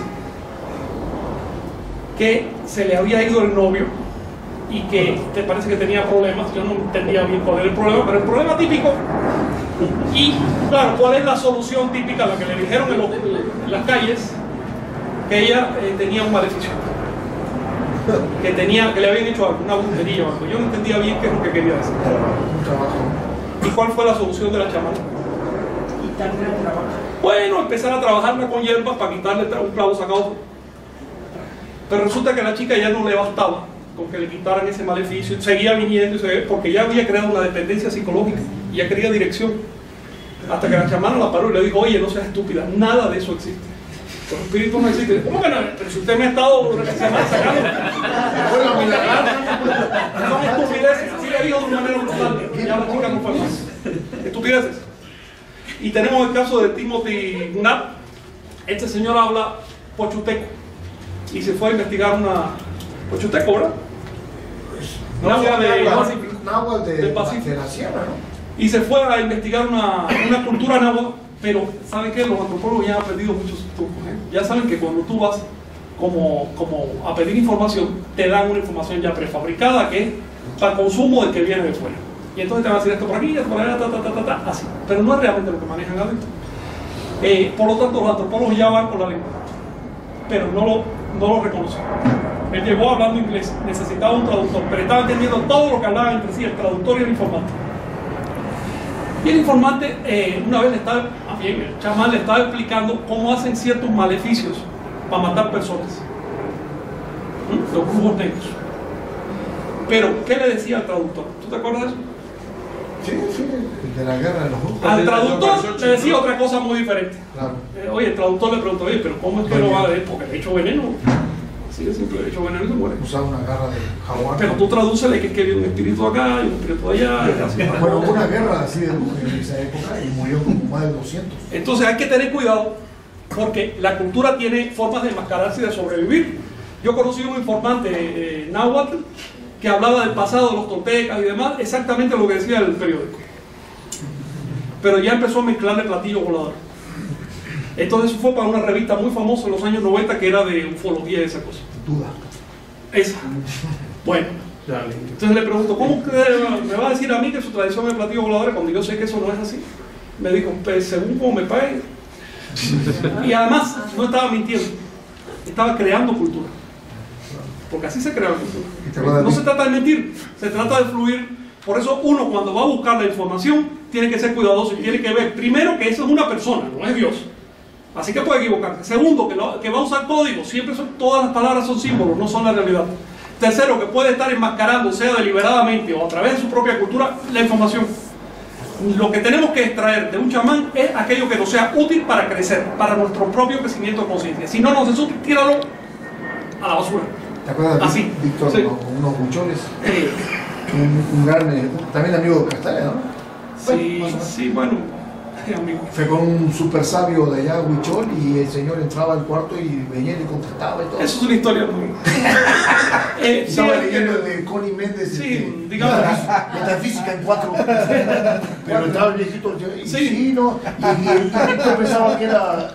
Y como no. Estaba emocionado diciendo, ore, no diga que hablan de metafísica. ¿no? Qué bárbaro. Hasta que descubrió que A menos que Connie Méndez fuera Huichola. Ese, ese- ese comentario que hacemos de, de- de- de armar o de estructurar algo Sí.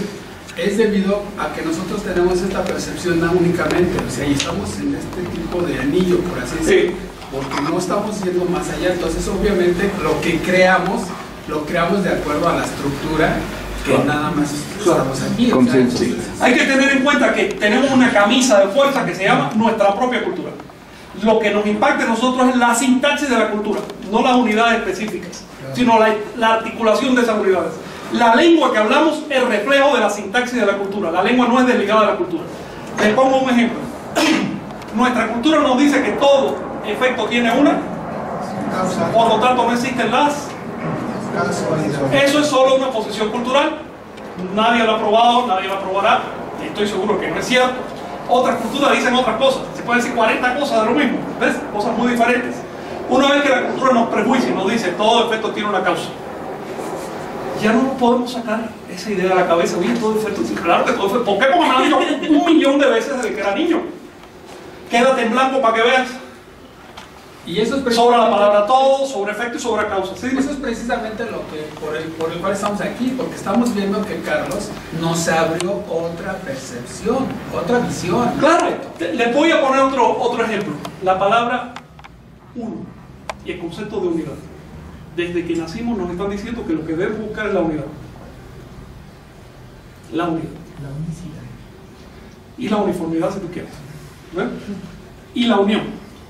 Y debido a eso nos imaginamos que el universo como un todo debe ser uno, para empezar. Es decir, lo estamos reduciendo en número. Fíjense que acto de mezquindad tan y de osadía al mismo tiempo. Reducir la totalidad a un número solo porque nosotros lo manejamos cómodamente. No cero, porque la cultura cristiana no partió, no partió del cero y todavía no lo maneja, sino uno. ¿Por qué? Porque hay un Dios, porque yo tengo un ego y el ego responde al uno, por eso uno soy. Eh, Porque eh, se me ha dicho que es necesario cierto estado de conformidad al que llamamos unidad. Otras culturas pueden tener otras ideas muy diferentes. En este momento, por ejemplo, les voy a hacer una proposición. No vamos a entender nahualismo ni chamanismo si no nos sacamos de la cabeza la superstición de la unión. Es una superstición cristiana. Bueno, cristiana no, judeo-cristiana, musulmana. La idea de que todo tiene una causa, Sí. Un centro, el universo tiene centro. Es más, la Dios. palabra universo empieza con ese y que todavía no un probado. solo Dios, Padre Todopoderoso, uno. realmente dónde está el universo. ¿Existe el universo? Fuera de la mente. Fuera de la mente hay algo que pueda responder esa palabra. Son imágenes que nos hacemos. Si callamos la mente, de pronto entramos en un mundo diferente, que es el mundo que puede estar viendo un perro, por poner un ejemplo. Con la diferencia de que tenemos más eh, duración que un perro, tenemos ciertas herramientas para poder trabajar con la realidad, podemos descubrir probablemente con más profundidad ciertos aspectos de la realidad, de la realidad real, no de la realidad mental, de cómo funcionan las cosas. Si nuestra mente describiera la realidad con objetividad, no tendríamos problemas en la vida. La cultura no tendría problemas. Todo sería una maravilla. ¿Por qué? Porque la mente lo arregla todo. Es más, no solo problemas abstractos y metafísicos, hasta problemas tan concretos como organizar una sociedad. Hay osados, cuatro gente se reúnen en una mesa y te describen cómo debe funcionar una, una sociedad y crean una doctrina política. La aplican y es un desastre. ¿Por qué? Porque ellos son unos imbéciles, porque no entendieron realmente la complejidad de la situación. Ni siquiera entendieron que nadie puede escribir una situación compleja que va evolucionando y creciendo conforme estamos hablando. No se puede reducir a una mesa. ¿Ven? ¿Y qué hace entonces este, tipo, este, este grupo de tontos? En lugar de ajustar sus expectativas y su comprensión a la realidad, tratan de ajustar la realidad. Ellos se caen entonces en una dictadura. Estoy hablando de lo que vivimos todos en el planeta. Vivimos en una cierta dictadura. ¿Cómo nos manejan lo que nos manejan? Con la sugestión de las palabras. Si una persona quiere vender dos tercios del país, te va a echar un discurso patriótico. Eso fue lo que hizo Santana, el discurso más Son patriótico. medidas que Estaba transando la venta en ese momento. Si un individuo te quiere robar la lana, ¿de qué va a hablar? Hombre, emprendimiento, altruismo, buenas acciones. Si un individuo quiere robarte la energía, así para que te mueras, te va a prometer la vida eterna en un paraíso, en el cielo, Aquí no tiene. o una reencarnación. Yo anduve prometiendo eso. Hay que despertar. Estamos en un mundo de sugestiones. La mayoría son inocuas, pero muchas son negativas y de esas hay que salir. Me recordaste, ha leído a George, George Orwell, 1984. El Ministerio del Amor era lo peor que había. El Ministerio de la Paz y la Abundancia era de guerra y, hambre. ¿Se acuerdan? ¿Qué creen que dirige en Venezuela? El Ministerio de la Felicidad. Sí, se llama así. Ministerio de la Felicidad. ¿Qué cree que dirige? En modo como quitarte el pan de la boca para dárselo a un conjunto de gente que lo, lo un momento. Eso es lo que dirige ese ministerio. Tenemos que despertar. Eh, ¿Ibas a leer algo más? Hay muchas ¿Cuándo cosas. hacemos un grupo en la web? Mira, eh, aquí hay un intento. Aquí hay un El intento que podemos usar. La partida existe. La partida está en el sueño. El libro sexto, el que- el que describe con más, yo no quiero ¿Dónde adelantarme de- a ciertos detalles. El- Y también a un cierto análisis antropológico que, si me permiten, voy a hacer de, perdón, de, de la, de la- de hecho, me gustaría que alguien leyera la regla. Como tal, leer por lo menos porciones de la regla. Porque vale la pena investigar antropológicamente la obra de Castaneda. Pero antes de meternos en esa situación, quiero decirles que los eh, chamanes, por supuesto, se organizan, tienen partidas, tienen una regla, un reglamento de las partidas. Carlos lo pone de una manera un poco folclórica, un poco como lo entendió, pero donde quiera que vayas en el mundo vas a encontrar que hay ciertas cosas que se deben hacer, otras, si las haces te busca un problema, pierdes la energía, te sales de la partida, ya no entras en consenso, es normal. Nosotros aquí estamos eh, convocando a la segunda atención, convocando. Imagínense que la segunda atención es como un espíritu, imagínense. Y estamos convocándolo para que se manifieste ante nosotros. Y ese espíritu probablemente no se manifieste de día, porque de día hay mucha luz en el ambiente y es tenue, es sutil. De noche es más probable. Y mientras estás despierto puede que estés distraído con el televisor y con otras. Se te va a manifestar en el sueño. A todos nosotros se nos ha manifestado el Nahual un montón de veces y se nos va a seguir manifestando. La cuestión es tener conciencia de ello. ¿Ibas a hablar? Hay, hay- hay cosas muy prácticas en este, en este libro de Carlitos. Por ejemplo, hay que observar durante horas un objeto hasta parar el mundo y encontrar lo observado en el sueño. ¿Eh? Un buen ejercicio para la semana. Fíjate, Observen este, algo que les guste, una rosa, Sí. una, una imagen. No es una pena que no podamos ahora y propóngase verla en el sueño. Si lo vamos Eh, fíjense que esto es similar a lo que les conté hace un ratito de repetir una palabra hasta que pierda sentido. ¿Qué quiere decir parar el mundo? Si observas un objeto suficiente rato, con suficiente concentración, deja de significar lo que piensas Lo que piensa significa. que. ¿Y en qué se transforma en ese caso? Sensaciones. Eso, hay una sensación, pero esa sensación está atendiendo a algo, no a otra cosa. ¿En qué se transforma el objeto? El que sea. Aquí hay una de dos. Se transforma en una fuente de luz o en una descripción abstracta, en una estructura abstracta en el espacio. Si es una estructura abstracta, el Sol existe en tu mente. Pero si empieza a chisporotear luz, existe en sí. Y se dio cuenta que tú quieres comunicar con él. Ese es el trabajo con los seres inorgánicos. Una de dos. O tienen energía propia o solo son estructuras en el aire. Sí, aquí dice que puedes observar cualquier cosa, lo que tú elijas, pero este, lo que elijas eh, tiene que tener cierta atracción para ti. Sí, claro. Sí, claro. Que no te- Eh, ¿Te acuerdas los ónfalos, los monjes aquellos heterodoxos griegos? Llegaban a estado de alterado de conciencia, son cristianos pero eh, son griegos, esos que viven en unos cerros, en unas montañas enormes, que tienen que subir una escalerita bien peligrosa. Bueno, ellos observan el ombligo. Ahí viene el dicho, dice, ay, qué huevón eres, nomás te la pasas mirándote el ombligo. Ahí viene. Claro, el ombligo, hacen lo que Carlos, don Juan le dijo a Carlos, me observaba un- el ombligo, el ombligo. Qué fuerte. Y hacían, ¿Quién sabe qué han logrado esos viejitos, esa gente? ¿eh? Es decir, para estar recitando cosas escritas en un libro y lo Se ve el ombligo. El ombligo que es natural sí, y es mi origen. Yo prefiero pues, una roca, algo. Sí, o un ejercicio si que está al alcance de todo y ya no es tan raro como el Aquí lo dice, mira, cada aprendiz está especializado en un tipo determinado de observación. Sí. Lluvia, distancias, sombras. Observar y soñar son dos cosas que están unidas. Hierba, hierba seca. Sí, Sí, la hierba viva es un inanimada, problema. ¿no? Sí, la viva sí es diferente. Por ejemplo, una mujer puede captar energía de la tierra rodando por el suelo. Un hombre, en cambio, debe tumbarse de espaldas en el suelo, con los pies juntos y las manos en forma de garra. Hay que observar durante horas un objeto hasta parar el mundo. Y, ah, ya lo dije, eh, que lo repitió. Y encontrarlo observado en el sueño. Eh, que cada, eh, un, asociador impecable lo convierte todo en presa. Todo es una presa. Eso es un principio de este libro. ¿eh? Es un tema sobre eso. ¿Cómo, cómo vivimos en un mundo de depredación? Y tenemos una de dos. Acechar o ser acechados. Así. Y por eso empieza con una guerra de grupos. Y sobre eso me gustaría hacerte una pregunta, ¿eh? pero ahora que termines de leer. El, el, el acechar, ¿saben qué es, no? Observar, ¿no? A veces subrepticiamente, ¿no? Acechar. Bueno, eh, has de acechar tus propias debilidades.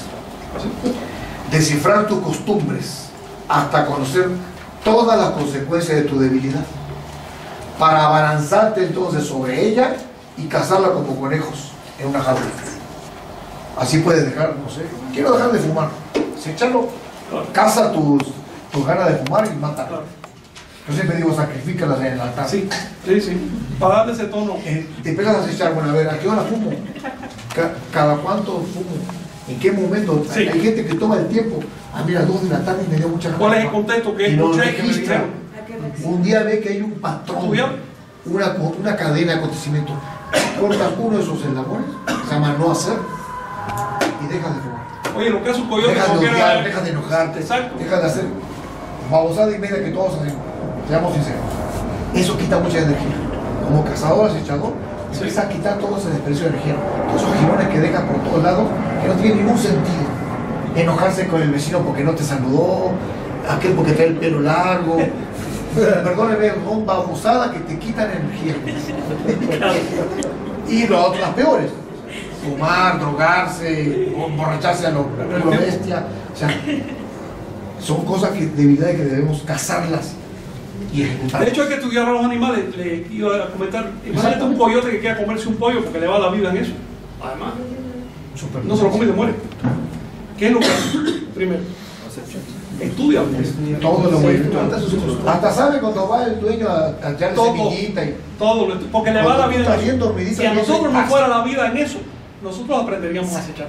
No somos acechadores porque nos han dicho que vivimos en un mundo bueno, que hay un ser que nos está vigilando, porque todavía somos, tenemos, sabe Dios cuántos años y seguimos siendo un niñito de la casa psicológicamente. Si comprendemos que desde, la- desde el nacimiento, desde la concepción, estamos en caída libre a la muerte, vamos a entender cuál es la visión del, del acechador. Aquí comemos o somos comidos. Y no estoy hablando de ser un oportunista de la situación o ser una persona, digamos, negativa o, o una persona cruel. No, no estoy hablando de eso. Aquello que vas a hacer, hazlo con conciencia. Tu próximo bocado debe ser un bocado consciente de que estás destruyendo una vida, la que sea. animal o vegetal, es igual.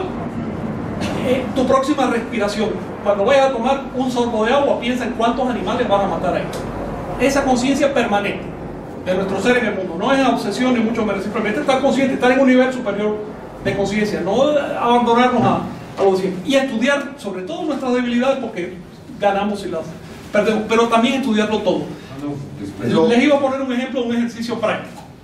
Agarren una libreta y apunten en orden todo lo que creo. Yo creo esto, creo esto, creo esto, creo esto. Probablemente no sea muy larga la lista, no creo. Creencias, digamos, filosóficas, creencias. Todo. Estamos muy. Estamos bien, ¿viste? Mientras más larga la lista, más problemas a resolver hay. Creo que está. Lo ideal es una hoja vacía. Lo ideal es una hoja sin escritos.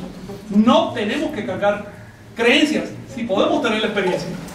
Si te, da, si, te dicen, si te dan algo a creer y te dicen que es con la condición de que no lo verifiques, oye, eso se llama estafa. Mucho cuidado con eso.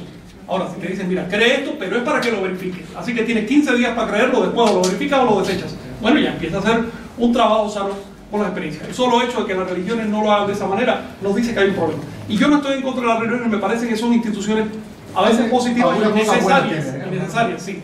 Pero sí hay que tener cuidado, porque si nosotros queremos salirnos de la borregada, acuérdense que Jesús dijo, oye, eh, acá tengo a la derecha la oveja y a la izquierda las cabras.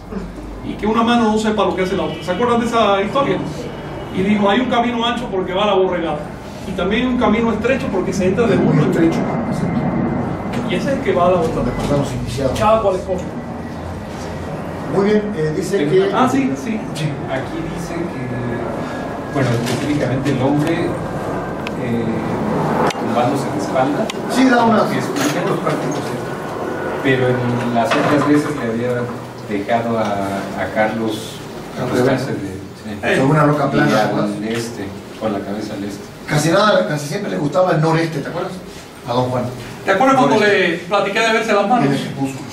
Es que les di, además de verse las manos, les di un pequeño ejercicio, una sugestión. Les dije, mírense las manos, pero, ¿qué más? Verifica que ¿Qué se llama? ¿ves? se trata de eso. Se trata de dirigir la atención. ¿Qué vas a verificar ni qué ocho cuartos? Tuya o de- da igual. Ahí no hay manos, la mano está al lado del cuerpo en la habitación oscura. Ahí no hay manos, hay una evocación de las manos. Pero el acto de verificarlas hace que atiendas al ejercicio. Da igual es boca arriba, boca abajo, con las manos vacías. Hay muchas maneras, hay muchas posiciones, para mujeres o para hombres. Quiero decirle que a mi juicio Carlos tenía una extraña predilección a separar cosas de mujeres con cosas de hombres. A mí se me hace que es demasiado exagerado. En mi experiencia yo no he visto una gran diferencia, por ejemplo, entre las capacidades de cada uno. Veo que mujeres y hombres sueñan por igual y más o menos muy parecidos. Pero que de que,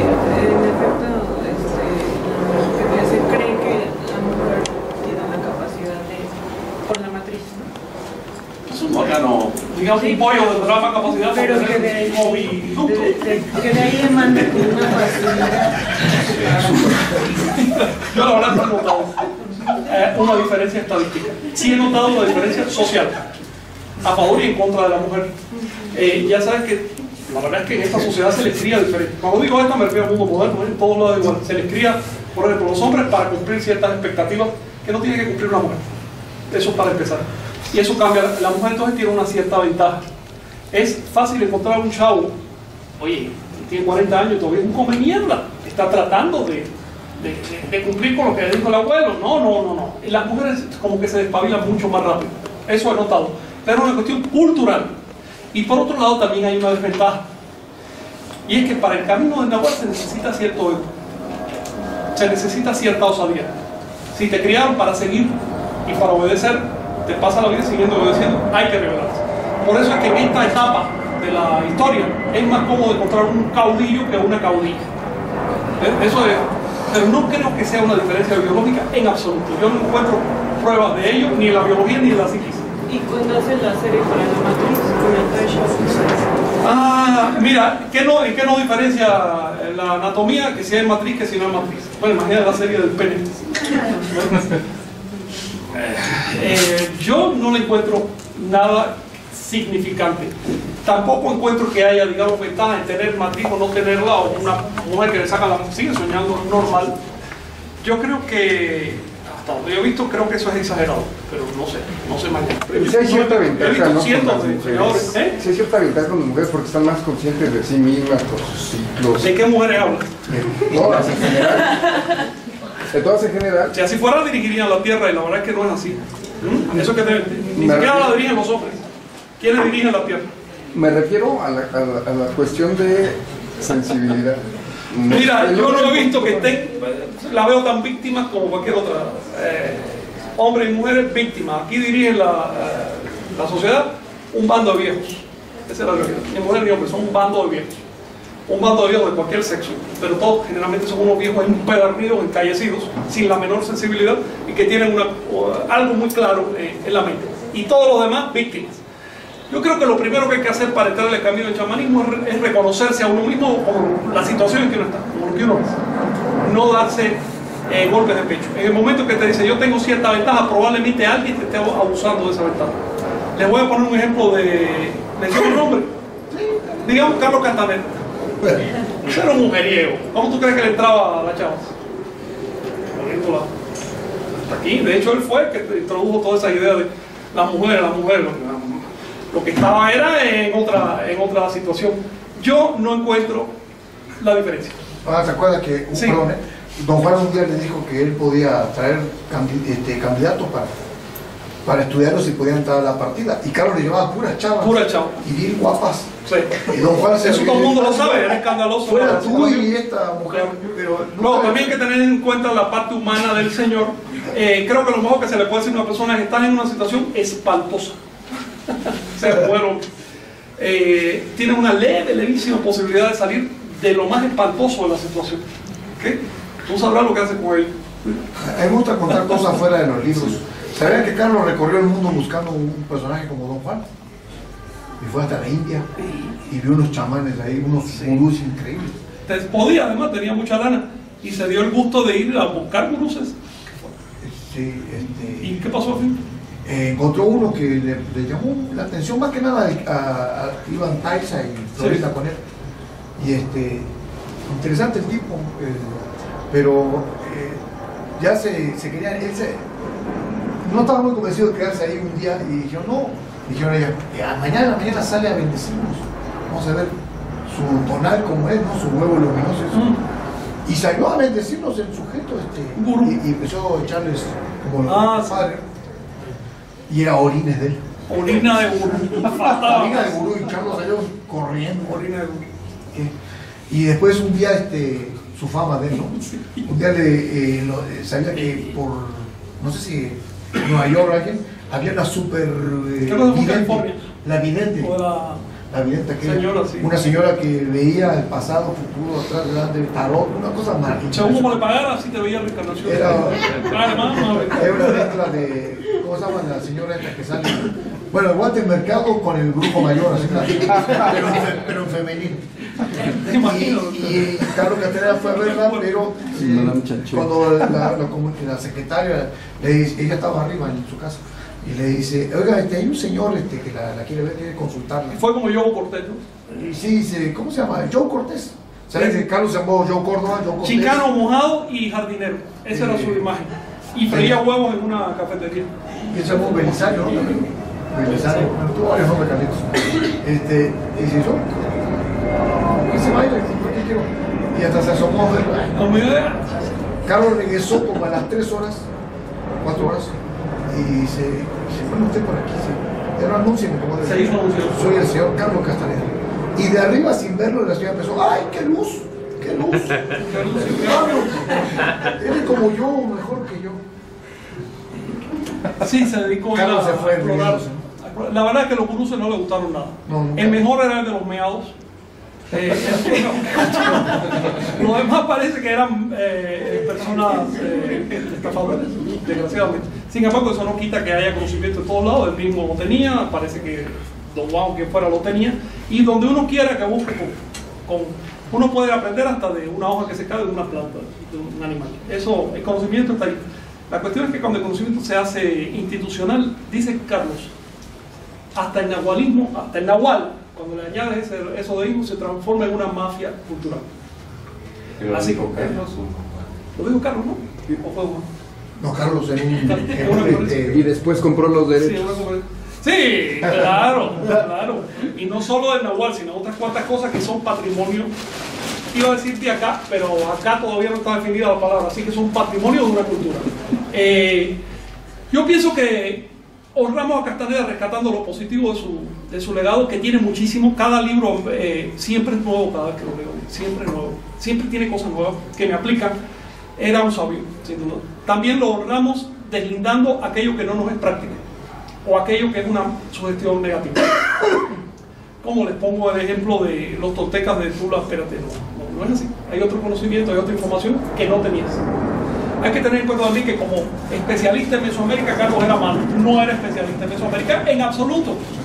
Luego estaba luchando entre dos mundos, el mundo de la academia, el mundo de sus informantes, y tratando de entender lo que había en. Por eso antes de morir, sobre todo, empezó a hacer una serie de visitas a, los museos de México.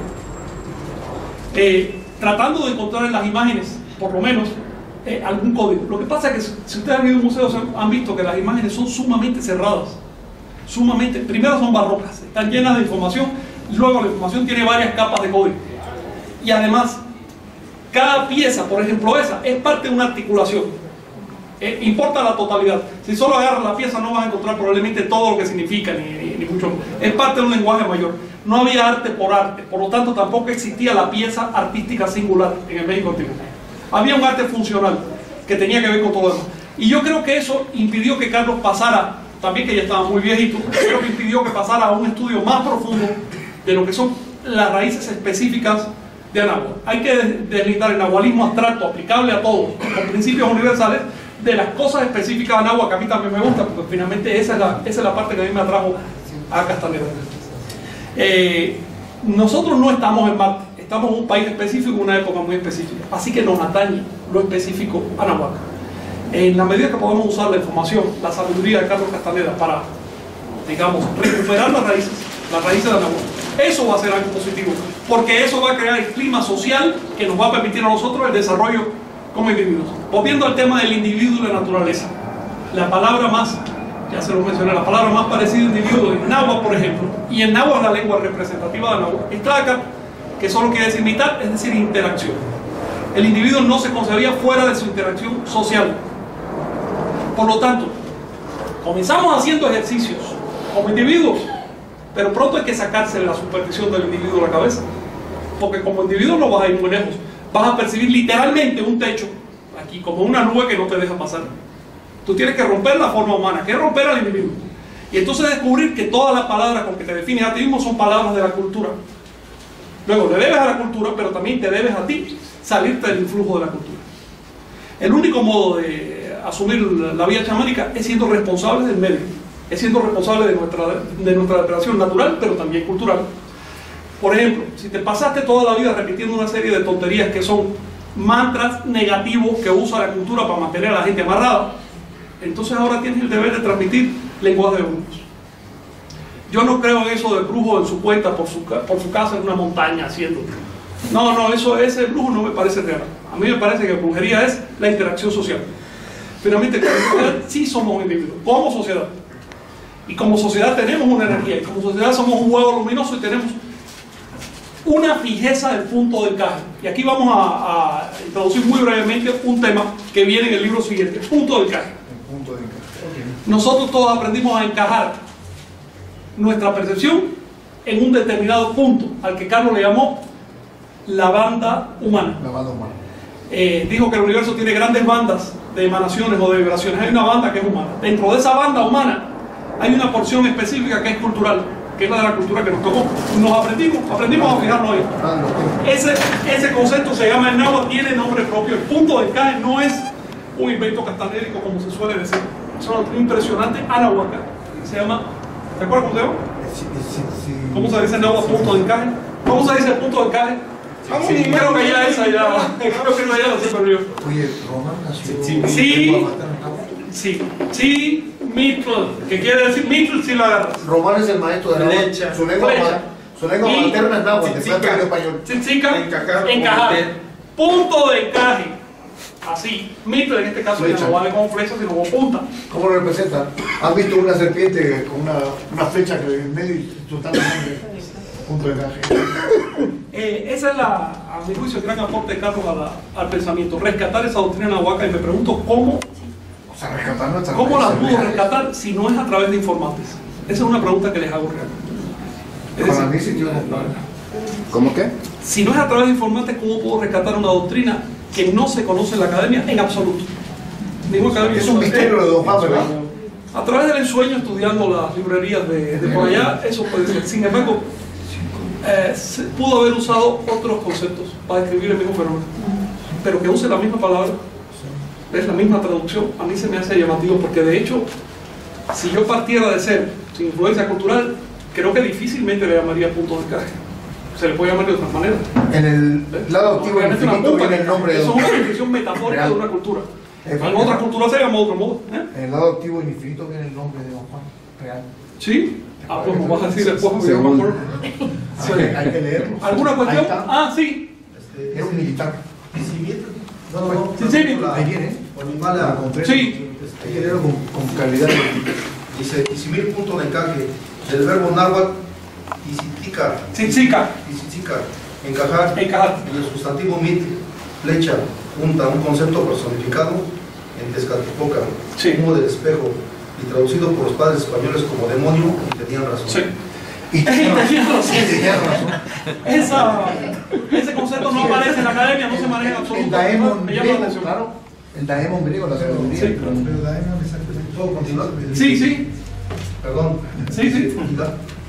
La, totalidad de las vibraciones que llegan hasta nosotros es filtrada por siete centros nerviosos principales que decantan o acotan la percepción, produciendo al individuo.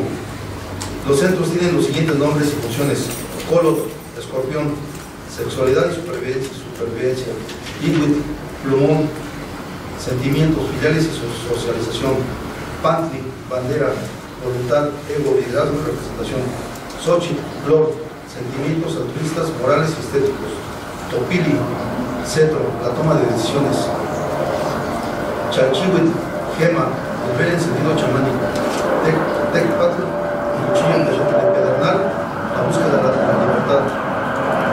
Estos centros, se describen, estos centros describen las etapas evolutivas por las que pasan la vida y la conciencia.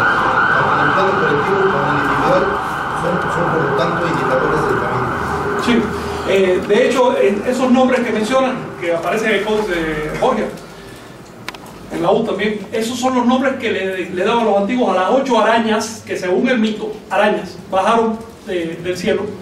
Es decir, Tezcatlipoca se desdobló, su nahual ustedes saben que es la araña, pero no se desdobla como una araña, sino como ocho arañas, que bajan y tejen una red, por, otra, por otro nombre, Mayahuel. Eh, y esa red es, digamos, el mundo de consenso en que vivimos. Entonces, Tezcatlipoca es el señor de la percepción, en que puede hipnotizar y dormir, o también despertar, es el señor de la percepción. Por eso los chamanes estaban abocados no a Quetzalcóatl, que es el el señor de la cultura, sino a Tezcatlipoca directamente. Y Tezcatlipoca le, le llamaban por el nombre de Tzitzimítl o Tzitzimime. Generalmente se ponía en plural Tzitzimime, que son las arañas. Y las pintan así, a ver si me acuerdo. Creo que pintan a Tepat aquí. en- hay una cuerda que baja y aquí pintan a eh, Tepatl, eh, Chalchihuitl. Da otra vuelta y aquí pintan a, bueno, Topili. Xochitl. Sigue bajando la cuerda y. ¿eh? Xochitl. Después, Eh. Sigue acá. sí, y y aquí termina la mitad con un escorpión. Voy a hacer el rabo del escorpión. bueno, sí. En India le llaman chakras. Eh, esa, esa información es curiosa. Lo llamativo de Anáhuac es eh, que no se vea como órgano que tenemos, ni mucho menos, sino como etapas de la evolución de la conciencia. Decir, hay una etapa eh, biológica, ¿eh? hay una etapa sexual, los animales que siguen evolucionando llegan a la etapa social, después llegan a la etapa del ego, en la cual estamos nosotros, pero todavía no da trabajo. La mayoría de la gente no tiene el ego desarrollado. Por eso nuestra tarea como grupo es desarrollar el ego. De hecho, la, humanidad no ha pasado del Pantli. Sino la humanidad como un todo. Sin embargo, individuos 16 años pueden pasar a la etapa llamada flor, que es el altruismo, El altruismo. eh, pueden pasar a la etapa de la garganta, que es eh, llamada topili. De hecho, don Juan dice, un chamán, un nahual, vive en la garganta, vive en su garganta. Ahí tiene su sentido del yo.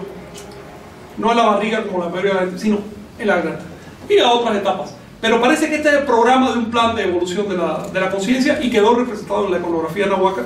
A mí, le repito, me parece muy llamativo que Carlos Castaneda no solo hable del punto de encaje, sino incluso habla de lo que llaman los centros.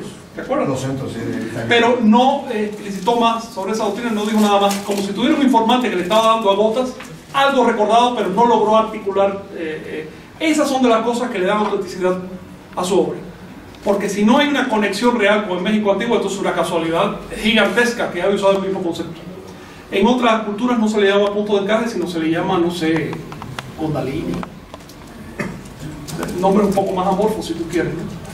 Eh, en fin, ¿alguna cuestión que tengan? Y con esto terminamos. A mí me gustaría que, es que, que no se quede sin Sí. leer la regla, porque... Sí, la regla del siguiente libro. Ah, Sí. ah, ok. El, el don del ¿Sabes qué? Vamos a leer la regla completa. Vamos a ver de qué se trata eso. Ah, será para la que... Eh, vamos a leer la regla. La parte por lo menos estructural de la regla. Eh, la idea es que la regla se aparece a cada uno de nosotros en la vida. Se va apareciendo. Cada uno va deslindando porciones de esa información. Eh, es como decir, a ver, detrás de toda la vida hay un ADN. Hay un código de ADN. ¿no? Y el código es una regla. Y se va mostrando a través de los cuerpos y demás. Es decir, la propia biología es la expresión más clara de que existe una regla en la, en- en la vida, en la conciencia, en el desarrollo de la conciencia. Y parece que los chamanes han dado con una forma de organización bastante ideal.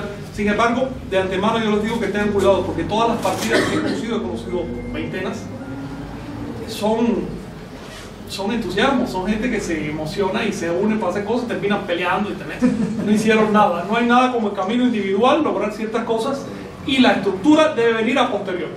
Primero el contenido, después la estructura. Porque si empieza por la estructura puedes perder décadas en eso y- y no pasa nada. Digo a mí, es lo que he visto. ¿No? Con estos nos vemos Sí. Sí, que ya está.